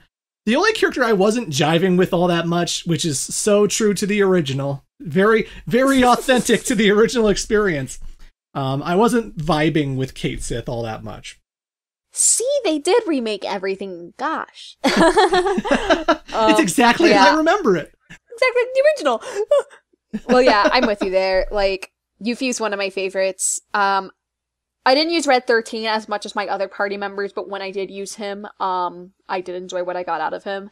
But yeah, Cait Sith, uh, uh, uh, cause you have to like, He needs you have a to lot like of fight setup. as him, but he, d- yeah, it's the setup that gets me, cause you have to fight as him for like a while, but he's not like the other characters where like Cloud and Aerith and Tifa can easily do like a lot of ranged or a lot of close up abilities. And then once you build him up, you have to get on the you summon like his mechanical Moogle.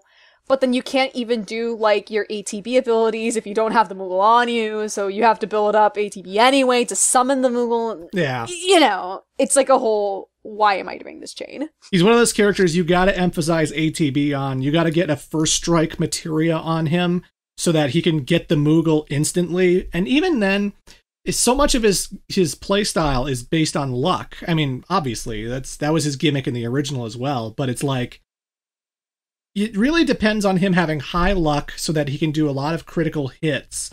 And he he rolls dice and sometimes he'll roll dice and he'll get a 2 and it does okay damage and then he'll get a 6 and it does good damage. It's it's not consistent and it's not reliable. And there was one ability i liked of his that was really good though because it was a moogle magic. Um, moogle magic takes an ability from the summon that he's personally equipped and he just does it and you only need like one bar to do it so like you use one atb bar and you can summon bahamut to fucking dive in and just start attacking people and that's like the best ability of cait sith in my opinion um, but when it came to like staggering and other stuff, I just none of the moves were like jiving with me all that much. I just thought he was a very slow, very awkward, very unorthodox character that I'm sure lots of people are going to love and I'm sure lots of people are going to figure out the best utility of this character. But from a casual perspective, I just don't think he's as fun as as everybody else, personally. You don't like giving everyone the good old knuckle. Nah. That was my favorite part of playing as Cait Sith. yeah. But that's it. well, I mean, to be fair, it's just the gameplay you're talking about. Because I remember you said Yeah. you really liked Cait Sith as a character. No, Cait Sith in this game is fantastic. He's great. But the gameplay wise, I just wish he was a little better. Yeah, again, the benefits of a remake is that like we get to really finally see the potential of what Cait Sith actually is. Because he's a robotic cat and he's a cute little kitty cat who has a Scottish accent and he's, you know, when he when he's a pixel, when he's like he's like 3D blocky polygons from the original, the camera's always so far back you don't really get to see the expressiveness on the cat's face. You don't really get to see him jumping around and doing wacky things on top of the Moogle. But here, he's got so much personality to spare. Like we get full on Cait Sith as you saw him in Dirge of Cerberus or Advent Children. Like this is the Cait Sith that he should have been from the very beginning. But with actually great direction from a competent team. yeah, yeah. I think this game loves its fan service, and I love it for loving fan service because it Yes. makes every single event in the game memorable. It makes every single event just a smorgasbord for your eyes, and you're just like, oh my god, I can't believe that happened, and oh my god, this happened, and oh my god, that cutscene was incredible. Like the I'm I've been watching a lot of streamers reacting to their first visit to the gold saucer. yes. Uh where not only do the girls get do a little dance number because they get pulled into a dance number because why not but dio shows up and dio has always been a character in the original but here again because he's not a blocky pixel person we get to see this muscular hairy guy doing all these poses and flexing and his fucking titties bounce. It is so fun watching these characters just come to life and just be the most eccentric, bombastic, crazy things you've ever seen in your life. I just love it. And you're right where you really see the full potential of these characters in like this newly realized Final Fantasy VII trilogy of games because like on the one hand playing like a PlayStation 1 game in 1997, you just have the dialogue like on your screen and maybe some character movements, but you're not getting like the full voice acting, full motion like experience that you're getting now. Yeah. So especially with like, for example, Aerith and Tifa's whole friendship, like you get bits and pieces of that in the first game, like with remake, but in rebirth that's even more fully realized and I just really loved the connection that they have with each other. And Yeah. you get to really, really see that now with all of the advances we've made in gaming, you know? There's so much personality and character here. Like, it's fun that now because Yuffie is no longer optional, she was Yep. optional in the original Final Fantasy VII, but now she has to join the party. She is a major part because that's so much work you have to put in. Why make her optional, right?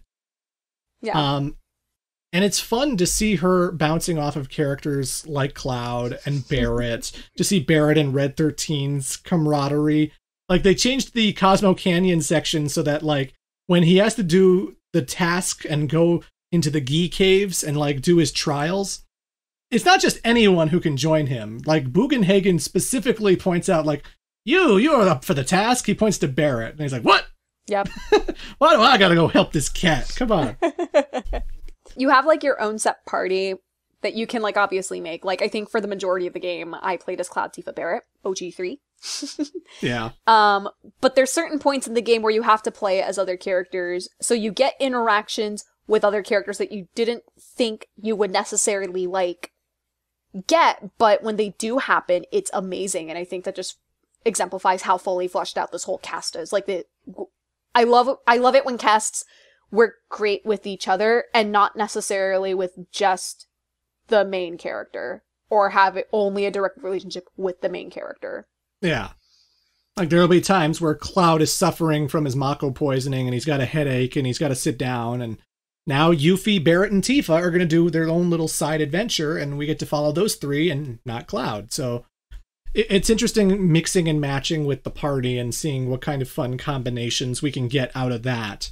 Um, and again, it's just the character dynamics is just they're just so fun. I like this game is full in on the whole affection system because they know like okay, everyone's looking forward to the gold saucer date. We got the gold saucer date definitely. So we're going to have an an actual proper affection system where you're going to see the little smiley faces above each character's heads and the happier that smile is, the more close to cloud they are. And so you'll be in town, you'll be in kalm, and and you'll just be walking around and oh, there's Barret. I'll talk to Barret. Oh, I have a choice of what to say to him. Uh, I'll say this. Your relationship with Barret has deepened, you know? And you'll see his smiley face has changed a little bit and it's like, "Oh, I got I'm closer with Barret. And so by the end when you get to the gold saucer date, they actually give you a straight up warning. They they warn you like, "Yep. You're coming into the date scene if you are not satisfied with who is closest with you right now, consider doing side quests to build up that affection. Because a lot of the side quests are tied to certain characters, where, like, if you do this quest, Aerith is there with you accepting the quest, and maybe if you finish it, Aerith will have a deeper appreciation for Cloud for having done that side quest. So there's benefits to doing side quests because it gets you closer to the party members. And it also encourages you to do the synergy abilities, which are these completely new aspect of the gameplay, where every time you do an ATB move, it adds to this little bar. You'll get like five bars, and you can get one just for doing braver or focus thrust or whatever. You get another bar for doing dive kick or overcharge or whatever your your abilities are. You can do a spell as well, like magic materia, fire. Yeah, lightning. magic counts. And when you have like three for two different characters, those two characters can team up and do this crazy synergy move that where they do this in it's sort of like a mini limit break, I suppose. Kind of, yeah. Where they'll just team up and do this crazy thing that will raise a stagger meter or keep a stagger meter slow or they'll boost each other and get extra ATB meter so that they can get more abilities out at once. And it not only is used for combat, but it also deepens the relationship with Cloud and other characters. So when Cloud and Tifa do a synergy move, your relationship with Tifa has changed. It has deepened, you know. And you can also say things that reduce your relationship with other people. That's true. so it won't necessarily say that your relationship is deepened, but it'll say your relationship has changed. let's just say I, I had a bit of fun with that for certain characters. Any examples? There were certain things that I said to Yuffie where our relationship just wasn't the best. but uh, the affection system is fun, and I think a lot of people are going to be satisfied with the gold saucer dates. I'll just say that. It's definitely more clear than the original where yes. it's like, okay, well then I guess I will do this and maybe I will get what I want when I go to the gold saucer. Yeah. But no, in this game there are very clear guidelines for how you specifically have to get the person that you want for your gold saucer date. But but getting back to just the pure excitement of the whole game, like it just felt like it was set piece after set piece after set piece after set piece, and there was never a moment where I was like bored or frustrated or or no. anything. I like Remake is a game that has a lot of slow walking scenes and a lot of downtime, and some of the dungeons go on a bit long. I don't think that's the case with Rebirth, personally. No, there's always something to do in Rebirth, whether that's main story, side quest, mini game. And the dungeons they do have, they feel like a nice reprieve from all of the open world stuff or all of the crazy wacky stuff that happens in the story that they didn't feel long to me. They felt like a evenly paced game. The the only issue I had with pacing at all in this game was just the final 3 hours or so. Like the te- the last dungeon and the final boss I feel go on a bit too long. But that's pretty much it for the whole entire game. Yeah you know, you're fighting a crazy sea serpent and then you're riding a fun dolphin through this crazy mini game. and then you're in a parade and you're doing fun dancing parade stuff and oh that whole Junon segment was amazing. I oh. loved being in enemy territory and seeing just the propaganda on the posters and seeing what Rude and his boys were up to. I didn't realize playing the original Final Fantasy VII that he was in a club filled with bald men. yeah. there are things about the remake that make you catch notice of the original like oh is that what was going on oh oh okay i guess i, ne- I never noticed that even though i've beaten the game like 10000 times Yeah. uh just they do fun stuff with that uh, elena they brought elena into the fold and she has not been in any of these things like she wasn't in crisis core she wasn't in uh, uh she wasn't in friggin dirge of cerberus she wasn't in advent children okay she was in advent children but she didn't say anything is what i'm is what i'm saying yeah. Elena has been missing from all the compilation, and I was waiting for her to come back into the fold, and I loved her. She was amazing. Oh, Elena's awesome. She's my, she's she was my favorite Turk member in this game. Uh, So sassy. I love it. I love it. yeah, she's very, very sassy. I would say more so than the original, but uh, Yes. it's all for the better of her character. She's just so fun to listen on screen, and God, God. The other thing I like compared to remake is that it's not spending so much time throwing whispers in your face to be like, "Oh, we're doing something meta and crazy. We're doing something wacky." The whispers are dead, so like most of the time, everything's just playing out without any weird metaphysical supernatural interruptions, which I think makes the Yeah. story a lot better for it. it makes it more grounded in a way. Yeah. Like you're not constantly thinking about like, oh, what's happening or what's what's going on with this element. Like there are plot developments that are interesting. I think the way the parade ends in Junon was like, oh, like I was really curious where they were going with that. Yeah. Um but it never feels intrusive. It never feels like it's nudging you and being like, "Get it? We're changing things. Get it?" Haha. You get it? Was different this time. Yeah. like I just like when they organically introduce new things. Like this element where Sephiroth is trying to convince Cloud that Tifa's not real. Oh yeah, that part. Oh. That wasn't part of the original. It wasn't an aspect of the original game, but it's like, well, I cut her.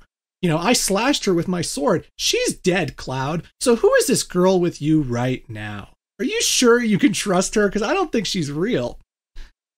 And that adds to a whole bunch of conflict between the two characters. Because, yeah, it's, it's like, what can you trust about Cloud's memories? But what can you trust about Tifa's memories? Is Tifa actually Tifa? Or is this all bullshit? Oh my god.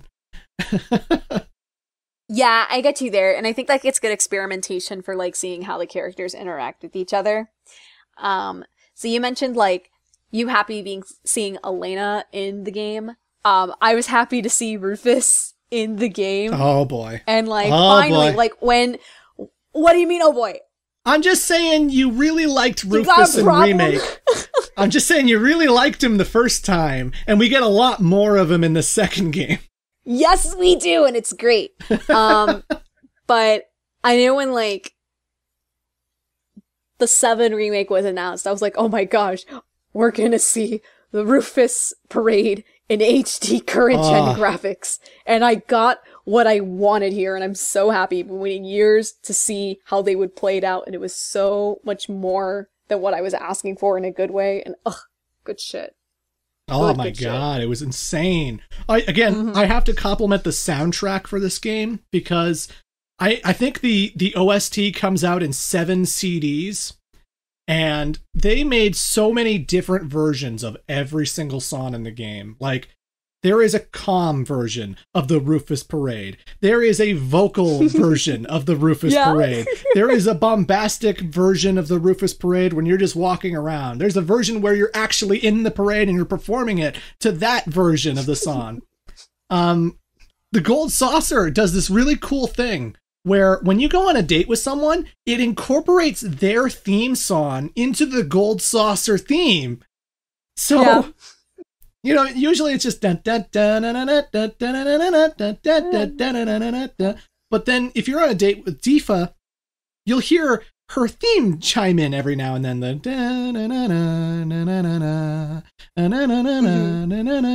and if you're on a date with Aerith, you'll hear Aerith's theme chime in during the Gold Saucer theme. Or you'll, if you're on a date with Red 13, you'll hear Red 13's theme chime in in the Gold Saucer. Like there's so many versions, so many renditions, just calm versions of themes, battle versions of themes. And then you'll do weird side quests where these are optional. You don't have to do them completely optional. talking about? and I'm escorting a dog, and I'm trying to get a dog to another part of Junon. and we get that.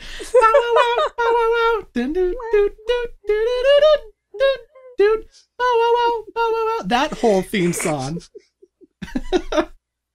and you only hear it like in that part of the game. I know, and it was so, so you good. Could completely, you could completely miss this and it's such a good theme song. Holy shit. Even like the new tracks. Like I, I complimented remakes new tracks, like its original compositions, but I also have to compliment them here because th- there are so many great original compositions from the Stamp song to Kyrie getting her own fucking theme song voiced Yes. by Erica Harlacher. Like, why did she get her own bombastic bop theme song that actually sounds awesome? and then I, one of my favorite set pieces in the whole entire game was climbing up Mount Corel.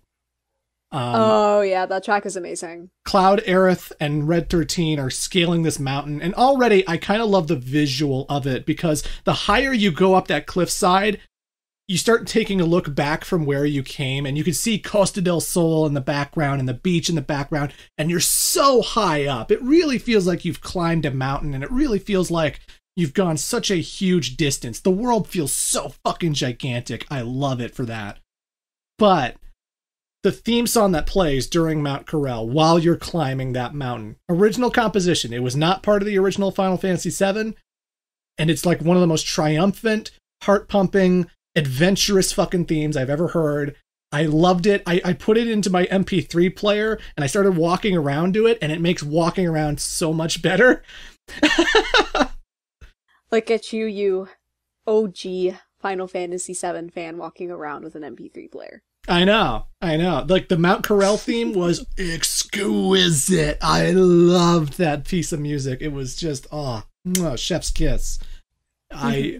I just think the soundtrack goes above and beyond. You know, even just like a lot of the world map themes, and it's not just silence when you're in the world map, which I appreciate. Oh. Like some games like Fallout or Elder Scrolls will just be like dead silent, or, or, or even Zelda Breath of the Wild or something will just be dead silent and you'll just be listening to just the ambiance and the wind blowing and you know that's fine but rebirth decides to have actual theme songs for its open worlds and they're great theme songs.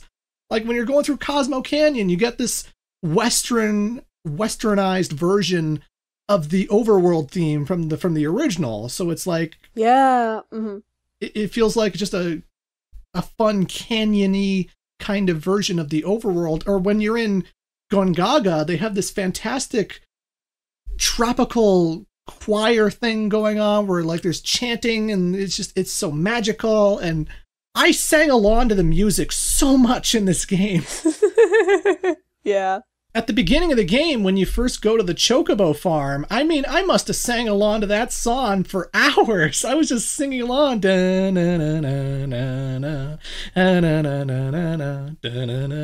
Like, I just. The music was perfection. It was exactly what I wanted. It's the gold saucer themes are amazing. Rufus's parade is amazing. They even start incorporating songs that I also love from the original that hadn't come up yet. The Mithril Mine. The Mithril Oh, Mine yeah. sounded so a good early fucking beautiful. Mhm. Oh my god. The, they made that cave theme so fucking magical. I'm gushing because I genuinely loved this thing. I was shocked how much I loved it.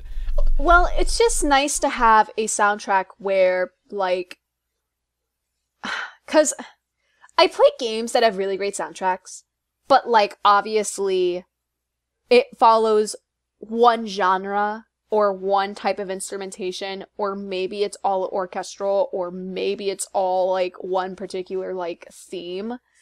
but um and there's nothing wrong with that, but I think Rebirth excels very well in having like a variety of musical genres that their songs will just pick from. Because you have like good nature themes, but you also have good wacky themes, but you also have great rock themes, you know, like it's wild how much variety there is in the soundtrack. And I think that's like its biggest strength. Because it doesn't feel like I'm getting bored by the soundtrack, or it doesn't feel like I'm per- expecting or predicting some sort of like musical form it takes on later. Yeah. Like, you know what I'm saying? There's like a lot of variety. Yeah, I get you. And even with the banger soundtrack and the great combat, this thing is packed to the brim with mini games. Like Oh yes, there's so many mini games. there are so many fucking mini games, and almost all of them are fun. Like almost Yeah. all of them. Like Chocobo Racing's in here. It's fucking great. It's Oh, way better than the original. Chocobo. Racing is awesome. Uh huh. There's like drifting and power ups, and it it genuinely feels like it could have been its own game. And I I know Square's made tons of Chocobo Racing games. They had one on the Switch not too long ago. I think this is more fun than that. Why? Yeah, like why can't this be like the Chocobo Racing game that we get? I'll just play like Rebirths over and over again. I was shocked. Um, you know, they had this fun frog mini game where you Yeah. you you turn into a frog and you have to basically they turned Fall Guys, but you're a frog. Just got to stay on the platform for as long as you can. Yeah. Um, we got the Queen's Blood card game. oh my god, how? yeah, that I that was a huge time sink as well. Like I was not Yeah. expecting to like that as much as I did, and I'm just say it. It's the best card system Final Fantasy's ever had. It's better than Triple Triad. I like it more than Triple Triad. I'm going to say it. Eh, I don't. I don't know about that. I don't know about that. It was kind of rough for me to get it at first because I was like trying to figure out what the dots and the numbers were trying to represent. But once that was like settled away, it was fine. And then I was like winning matches. Yeah, Um, it's fun. It's fine. It's not entirely like mandatory for you to do. Like there are instances in the game where you would have to use it, but like you can entirely avoid Queen's Blood, um, if you want to. oh yeah. um, but it was it was fine. It was fun. I'm not sure if I can say that it's better than Triple Triad, but I liked it. I think it's addictive. I like how much they put into it. Like even like going through all of the Queen's Blood matches, it also has its own dedicated storyline with its own twist ending Yeah. that uh was crazy. Like it just feels like they put so much effort into every single side quest. I mean, other than like the open Mhm. world micromanagement stuff, like Chadley wants you to check out these live stream fonts. He wants you to find these summon shrines so you can synchronize with the summon spirits and you have to like activate clock towers or you have to activate these radio towers and other, like a lot of that stuff is not the most exciting thing in the world but when it comes to just like the the overall side quests and the proto relic quests which the proto relic quests have a lot of cool lore and a great payoff if you're a final fantasy fan. And I, i'm saying a final fantasy 7 fan. No i'm saying a final fantasy fan. If you like the whole series you're going to want to do the proto relic stuff because that's really fun.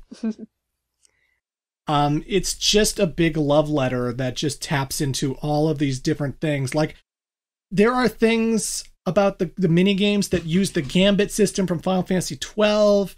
There are things about how Aerith will will will compose herself that makes me think of Yuna from Final Fantasy 10. Yeah. hmm There are things that are like feel like are callbacks to 13 and callbacks to this game and callbacks to that game and it's not just a love letter to Final Fantasy 7. This is a love letter to Final Fantasy in general. This is like Yes. the absolute epitome and example of why Final Fantasy is such a great franchise. And it just makes me appreciate the series in a much bigger way than even Final Fantasy 16 does. Like, I just loved this game from every part of it. I was just having a, a big ass smile the whole time. My cheeks hurt from smiling so much when I was playing this game and I don't have a lot of issues with it because again, I think the combat is so satisfying like it was in remake and it's just pure fan service the whole way through. It's always giving you exactly what you want. Um, except for the Moogles. I was gonna say, you know, it would have been a love letter to Final Fantasy if they fixed the Moogles in this game, because oh my gosh, they are atrocious.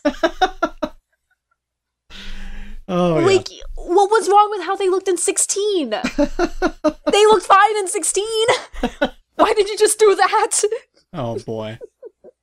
Yeah, the Moogles are very strange looking. Uh, they're like koalas. No, they're ugly. They're ugly as fuck. I don't like them. okay, they're ugly as fuck, but they they're yes, like thank you. they're like weird koala versions of Moogles. They kind of look like koala bears, but like if they have teeth whenever they talk and big weird eyes. But at least the Moogle theme plays when you visit their huts, okay?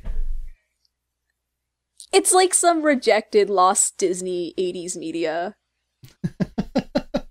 it's like for specifically like it's like there's like some lost episode of the adventures of the gummy bears out there and it just like stars these moogles. I don't know. It just reminds me of that aesthetic. I'm like i can't i can't i can't. No. Abort. No. Yeah. Hi, it's it's I don't have a lot I can criticize. I, again, I no no I just think the ending is a little badly paced because I think the final dungeon goes on a bit too long. It just drags. mm-hmm.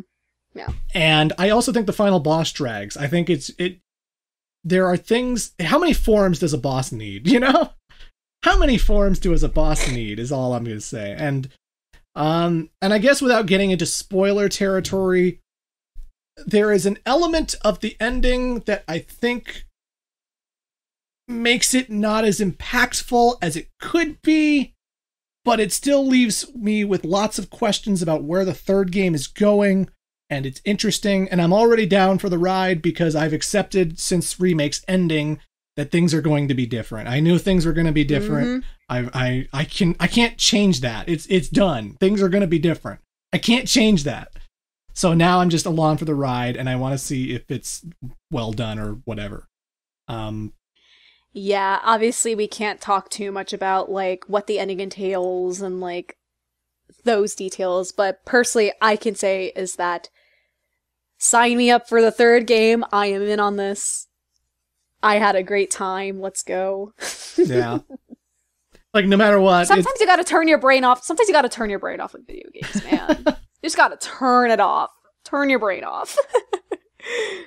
like in terms of pure fan service though, it's just like again, the whisper ghosts were not constantly in my face the whole time and I liked the developments of the plot. I liked how things were changing because it didn't feel like it get in it got in the way of the overall Final Fantasy VII story. Um everything that you remember about disc 1 pretty much happens like when we go to Gold Saucer, yeah, the whole Barret storyline is there and we get to experience it and it's very emotional and it's very impactful. Yep. It's like everything you expect from disc 1 is there and it's Mhm. well done and it's everything I could want. Now obviously there's like developments in the story, new changes and new aspects that are happening that were not part of the original. Um certain revelations are not really revelations, they're just kind of given out to you immediately and it's like, "Oh, okay." I guess we're rolling with this. They're actually talking about this instead of waiting for a surprise twist. Wow, they're actually acknowledging it now. Whoa, that's different. Um, but overall, it you know it, it doesn't feel like half-assed or anything. Like no. this is a masterpiece. I love this game. Yes. It's amazing. I'm I'm I can't wait to play it on hard mode. I can't wait to uh just go through it again and just master all the Coliseum challenges and stuff and I just I had so much fun. And uh yeah. I'm beaming cuz I don't have lots to criticize. I really loved it. It's a 10 out of 10 from the two of us. Yeah. and obviously we have different experiences with I guess the mythos. Mythos. Mythos. Mythos. So myth- with dear dear mythos. with the mythos and the lore and the world of Final Fantasy VII.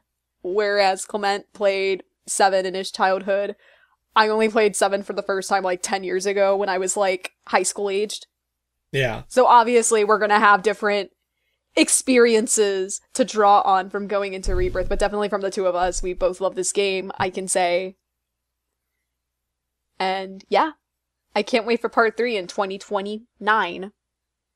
Because we're not getting part 3 for years. We're going to get it on PlayStation 6. We're, this is not coming out on PS5. Oh god. say that right now. Oh god. P- PlayStation 6 is where it's coming out. But uh either way, it's good shit.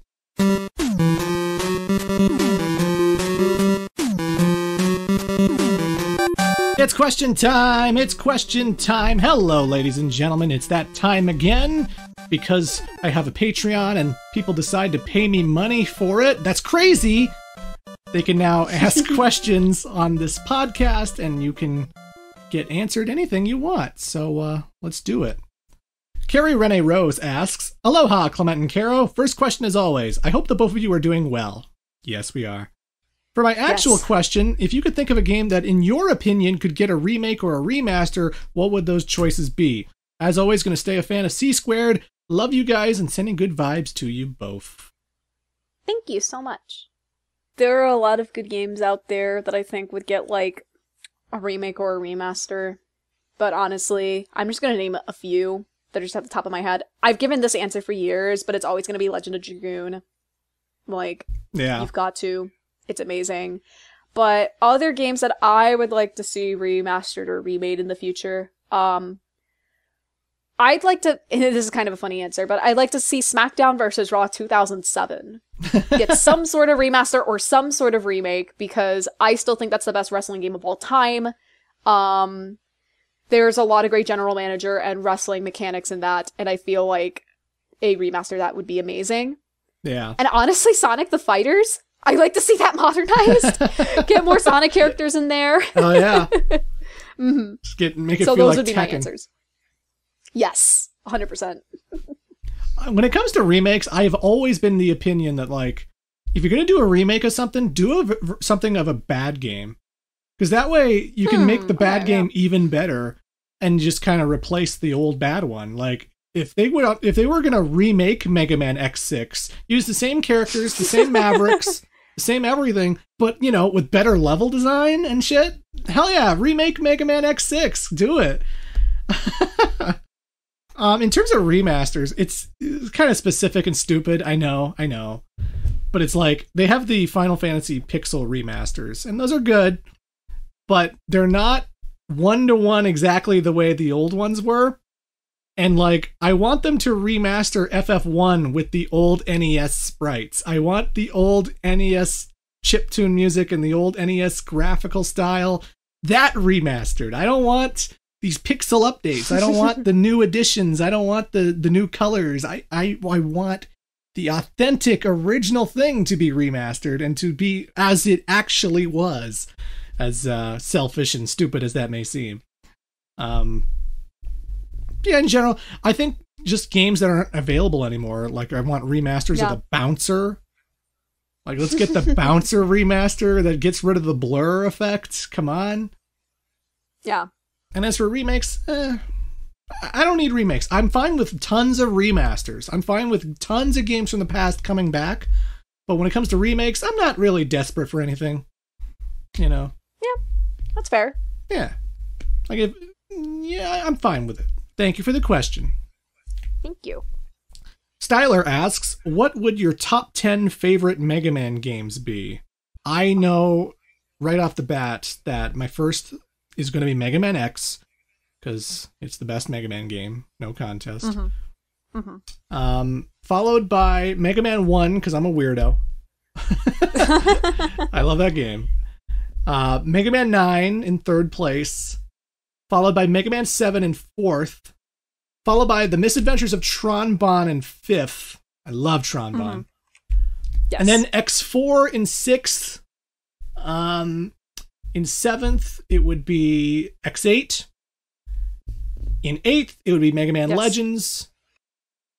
In ninth, it would be um, Mega Man 6. I'd say Mega Man 6. Oh, okay. Get some Mega Man 6 love in there. And Mega Man 10th, in 10th place it'd be Mega Man 10. I'll say that. Oh my gosh. That's my pick. We got some common ones in this list. Yeah. Yeah. Um, okay. So my favorite Mega Man game is Mega Man 9. I love, love, love that game so much. Um, my second favorite after 9 would be Mega Man X. Um, that's also one of the first Mega Man games I played. Love that game so much. Um, my third favorite is Mega Man 7. Then Mega Man 1 is fourth. Um, because I do, I do like Mega Man 1 more than a lot of people. Um, I just think it's neat. It's a neat game. Um, I have, I just okay. think it's neat. yeah, it's neat. and then in fifth place, um, I have never played this game because it is very inaccessible. But I have seen footage of this game online. I have seen Clement's Let's Play on it, and I know that if I played this game myself, I would love it too. So I put Tron Bonne as fifth. Um, sixth would be X4. Seven is Mega Man 2. Eight is Mega Man X2. Nine is Mega Man ZX, and ten is Mega Man 10. That is my list. Thank you for the Yeah. question. Thank you. Gelly Elfson asks, have you been reading any books lately? Any that you would recommend? Unfortunately, no. Um, I have um, a Bob Odenkirk's biography on my backlog. It's uh, comedy, comedy, comedy, drama. yeah. Basically, the biography about how he was a comedian and for so much of his career into the 80s, into the 90s, into the 2000s. Then Breaking Bad happened, and now his whole career has changed completely. Yeah. But uh, unfortunately, I've just been so preoccupied playing all these RPGs like Yakuza and Final Fantasy VII. I just haven't had any time. yeah. Well, with me, when me Clement went to Toronto, we went inside this bookstore and um, I studied linguistics when I was in college. And linguistics, if you don't know, is a study of different languages and how the history of languages came to be. So Yeah. I picked up a book called Holy Shit. And that's the title of the book. It's called Holy Shit. And it is an entire history of cuss words and expletive language around the world. Nice. and I and I love academic stuff like that. Um, but I read Britney Spears' autobiography a few months ago, and I thought that was great. Becky Lynch's new autobiography comes out next month, not next month, next week actually, and I need to pre-order that. So I will be reading that book pretty soon. And yeah, with me, it's either reading academic stuff or wrestling autobiographies or maybe the occasional fiction that my coworker suggests. So yeah. Thank you for your question. Indubitably. Connor Merritt asks, Hi Clement and Caro, hope you're having a great day. My question is if you've played Like a Dragon Infinite Wealth, what were your favorite boss fights? Thanks again and have a great day. One of my favorite boss fights, and um, this was publicly announced um, in trailers, and the person in question has talked about it um, on social media. But Danny Trejo is in this game. He is a character in Infinite Wealth, and his boss fight was just. There was nothing really like unique in the gameplay sense, but it's the idea of like, oh my gosh, I'm fighting Danny Trejo in a Yakuza game. Like, that was just really funny to me. Yeah. um, my answer I can't spoil for Caro. All I will say is that it's the final chapter and you're on a boat. That's all I'm gonna say, but that fight was fucking crazy. Okay. Um, Alright. Runner up would be the end of chapter 12, where we get some very familiar faces, a three on five Ooh, situation. Yeah, that's that's one of my favorites too. Yeah, Three on five situation. but I can't really spoil it. Yeah. Mhm. But Yeah. it, it it was just hype, you know. It's just those kinds of fights always make me smile. So thank you for the question. Thank you. Robert Boy Genius asks, "What's your thoughts on the compilation slash complication of Final Fantasy VII?" oh boy, uh, I kind of went over it mostly in remake, but Advent Children, I just I couldn't jive with it. I'm sorry. Even when I saw it in 2003, I didn't get it. I just didn't feel like Final Fantasy VII to me. It's got lots of fancy combat scenes, but I just don't care about it all that much. Um, Dirge of Cerberus, I actively hate. I think the game sucks. I think the game's not fun to play. I can't believe people are entertained by the cutscenes when they are so dry and boring. What? They're so What? dry and boring. What? How could you find that entertaining? They're so boring. I It's- don't get it. Well, one man's trash is another person's treasure, so it will be my treasure. Um, Crisis Core is the best of them for sure. I still don't like Genesis as a villain. I don't like Angeal and stuff, but Zack, he didn't really have much personality in the original Final Fantasy VII. You guys got to remember he barely talked in the original game, and they gave him so much personality in Crisis Core. And the I love the original dub. I love the PSP dub, um, because Gomez, the actor who played um, Zack in the original, fucking perfect line delivery, perfect voice. He was awesome as Zack in Crisis Core, and uh, he just made every scene work with his reactions to all the silly bullshit that was happening around him. Yeah. All of my experiences with the wider lore of Seven have been through YouTube reviews. I did see the cutscenes for Dirge of Cerberus out of suggestion. Um, but I have not played um Crisis Core. I really want to play like the um remake of it. Yeah, Um, because that is on my list. I am very interested in Zack as a character. Um, I have been begging this boy to watch Advent Children with me for a while now. oh boy. so we'll get around to it at some point. Um, Have you not seen it before? And yeah, I no. Oh, interesting. So I know what happens in Advent Children. I just need to see the whole spadangle the whole spiel. I don't know what I said there. I'm sorry. the whole. I need to see it all come together.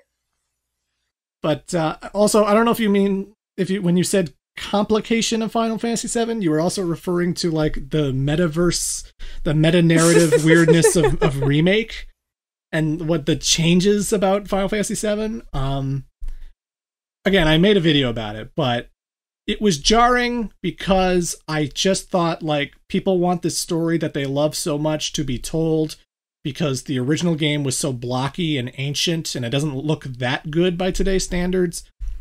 And so it felt kind of strange that they were just like, no, we're going to do whatever the fuck we want now and deal with it. But, um, you know, actually seeing how Rebirth has turned out, I don't think it's nearly as bad as we thought it was going to be. I feel like it is pretty pretty faithful to the original Final Fantasy VII, even still with all these changes. And um, yeah, I'm fine with it. Like until unless Part Three just goes balls crazy and just does the and they just do something insane. Like I don't know what they would do in three, but um, I'm fine with it. Like I accepted the fact that remake is not going to be a one to one exact duplicate of the original Final Fantasy VII. So whatever, I'll deal with it. I've been loving what they've been doing without getting into spoilers. so I will scratch my head if they drop the ball in three, but I won't be as mad as other people for understandable reasons. I'm just here for the ride, okay? I'm just here for it. Just throw, just just give me whatever. cool. Thank you for the question. Thank you. The Red Lucario asks, Hi Clement, I just wanted to know how you became a Mega Man fan, as you helped me become a big Mega Man fan. Um, well, mostly just exposure, just because I was a big gamer. You know, um, my first time I ever played it was at a friend's house. He had a Game Boy. It was the first time I ever saw the Game Boy. And he had a copy of Mega Man 2 for the Game Boy. And I just remember thinking that was really fun. At the time, I thought the music was great. Um, it's one of the more infamous Mega Man games for its soundtrack, but I enjoyed the bops and the boops, and I thought it was very challenging. and um, that got me into the anniversary collection for GameCube, where I played through one through eight through that.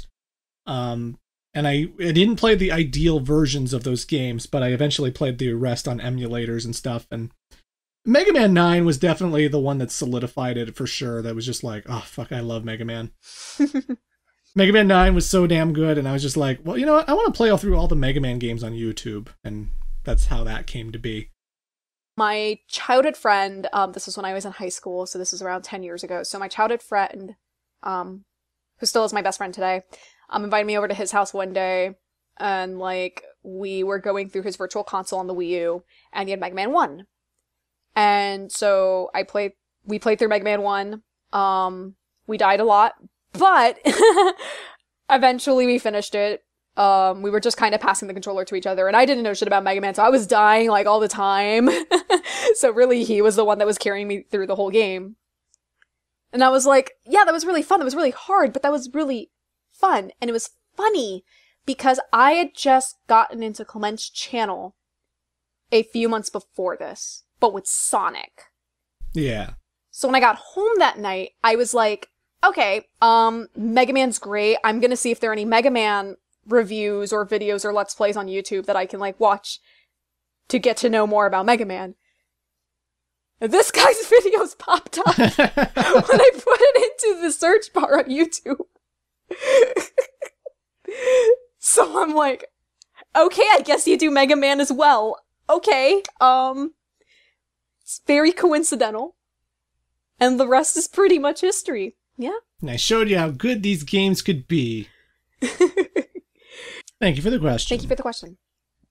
And finally, Ruben Dorado asks, Clement and Caro, what is your favorite music visualizer? There are many greats when talking about Windows XP Media Player and many others. My favorite ones are the PSP visualizers and PS3 Earth One. What are yours, if any? That's an interesting question. I love this question. I probably would say the same about the PSP visualizer, actually, because like when mm-hmm. you put an MP3 in there, there are so many different like wavelength kind of animations they can do, little explosions and stuff that they can have to like visualize how all the music is being communicated. And I've always loved that. I've always loved that. Um, Yeah. But I am the fossil who still listens to my PSP in the year 2024. Uh,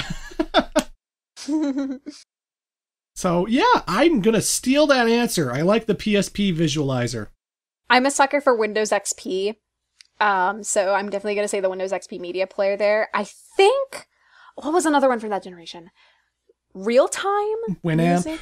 Winamp, yeah, that's another one of my favorites. Yeah. Um, and then I'm with you on the PSP because I always I always like looking at the screen whenever I was listening to music on my PSP as a kid. I don't know, there's something mesmerizing about that. So It's the good I think shit. those would be my answers. Yeah, those would be my answers. And Sony had personality. Uh, Damn. but anywho, thank you everybody for those questions, and it's been quite the long, long discussion. Yes, I think we gushed a lot. we did. I can't, I can't help it. It was good shit. It was such good shit. Final Fantasy VII It Rebirth was amazing. it definitely was. And now that this podcast is in the bag, uh, next week I'm going to be flying out to meet up with Caro, and then we're going to be spending the WrestleMania weekend together in Philadelphia. Yep, because WrestleMania is coming over here, which is exciting because I don't have to do the traveling. it's coming to me this year. Yeah. And uh, we get to see Cody Rhodes finally finish the story. Finally finish against Roman Reigns. I promise you that this is the year. I think if Roman wins, I think Philly is going to like cease to exist. Well, good thing I'm flying out immediately. Um, Yeah. but and otherwise, yeah, that means I'm going to be gone for a few weeks, which means I won't be able to work on Mortal Kombat, so it's definitely not going to be out until April, and I apologize for that. Um, it's been a very busy few months. This project, this Mortal Kombat project, is huge. It's taken me so long just to finish it, and uh, it will be finished in April. I vow, I guarantee, it will be finished in April. And um, yeah, and then I'm gonna have some changes for the Patreon, and I'm gonna have some changes for how I operate going forward because I've had I've had a lot of soul searching, and I don't know if my current system is working as well as I'd like it to.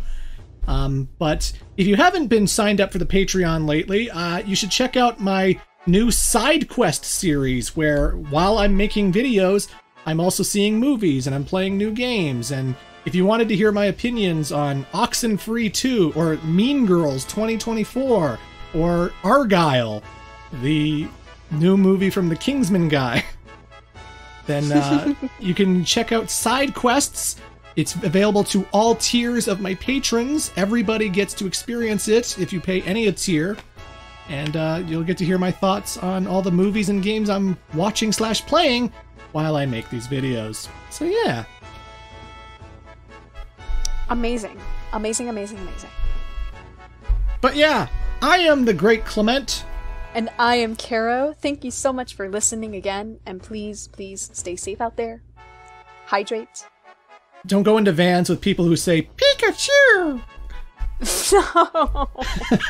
no. And we'll see you next time. We'll see you next time, y'all.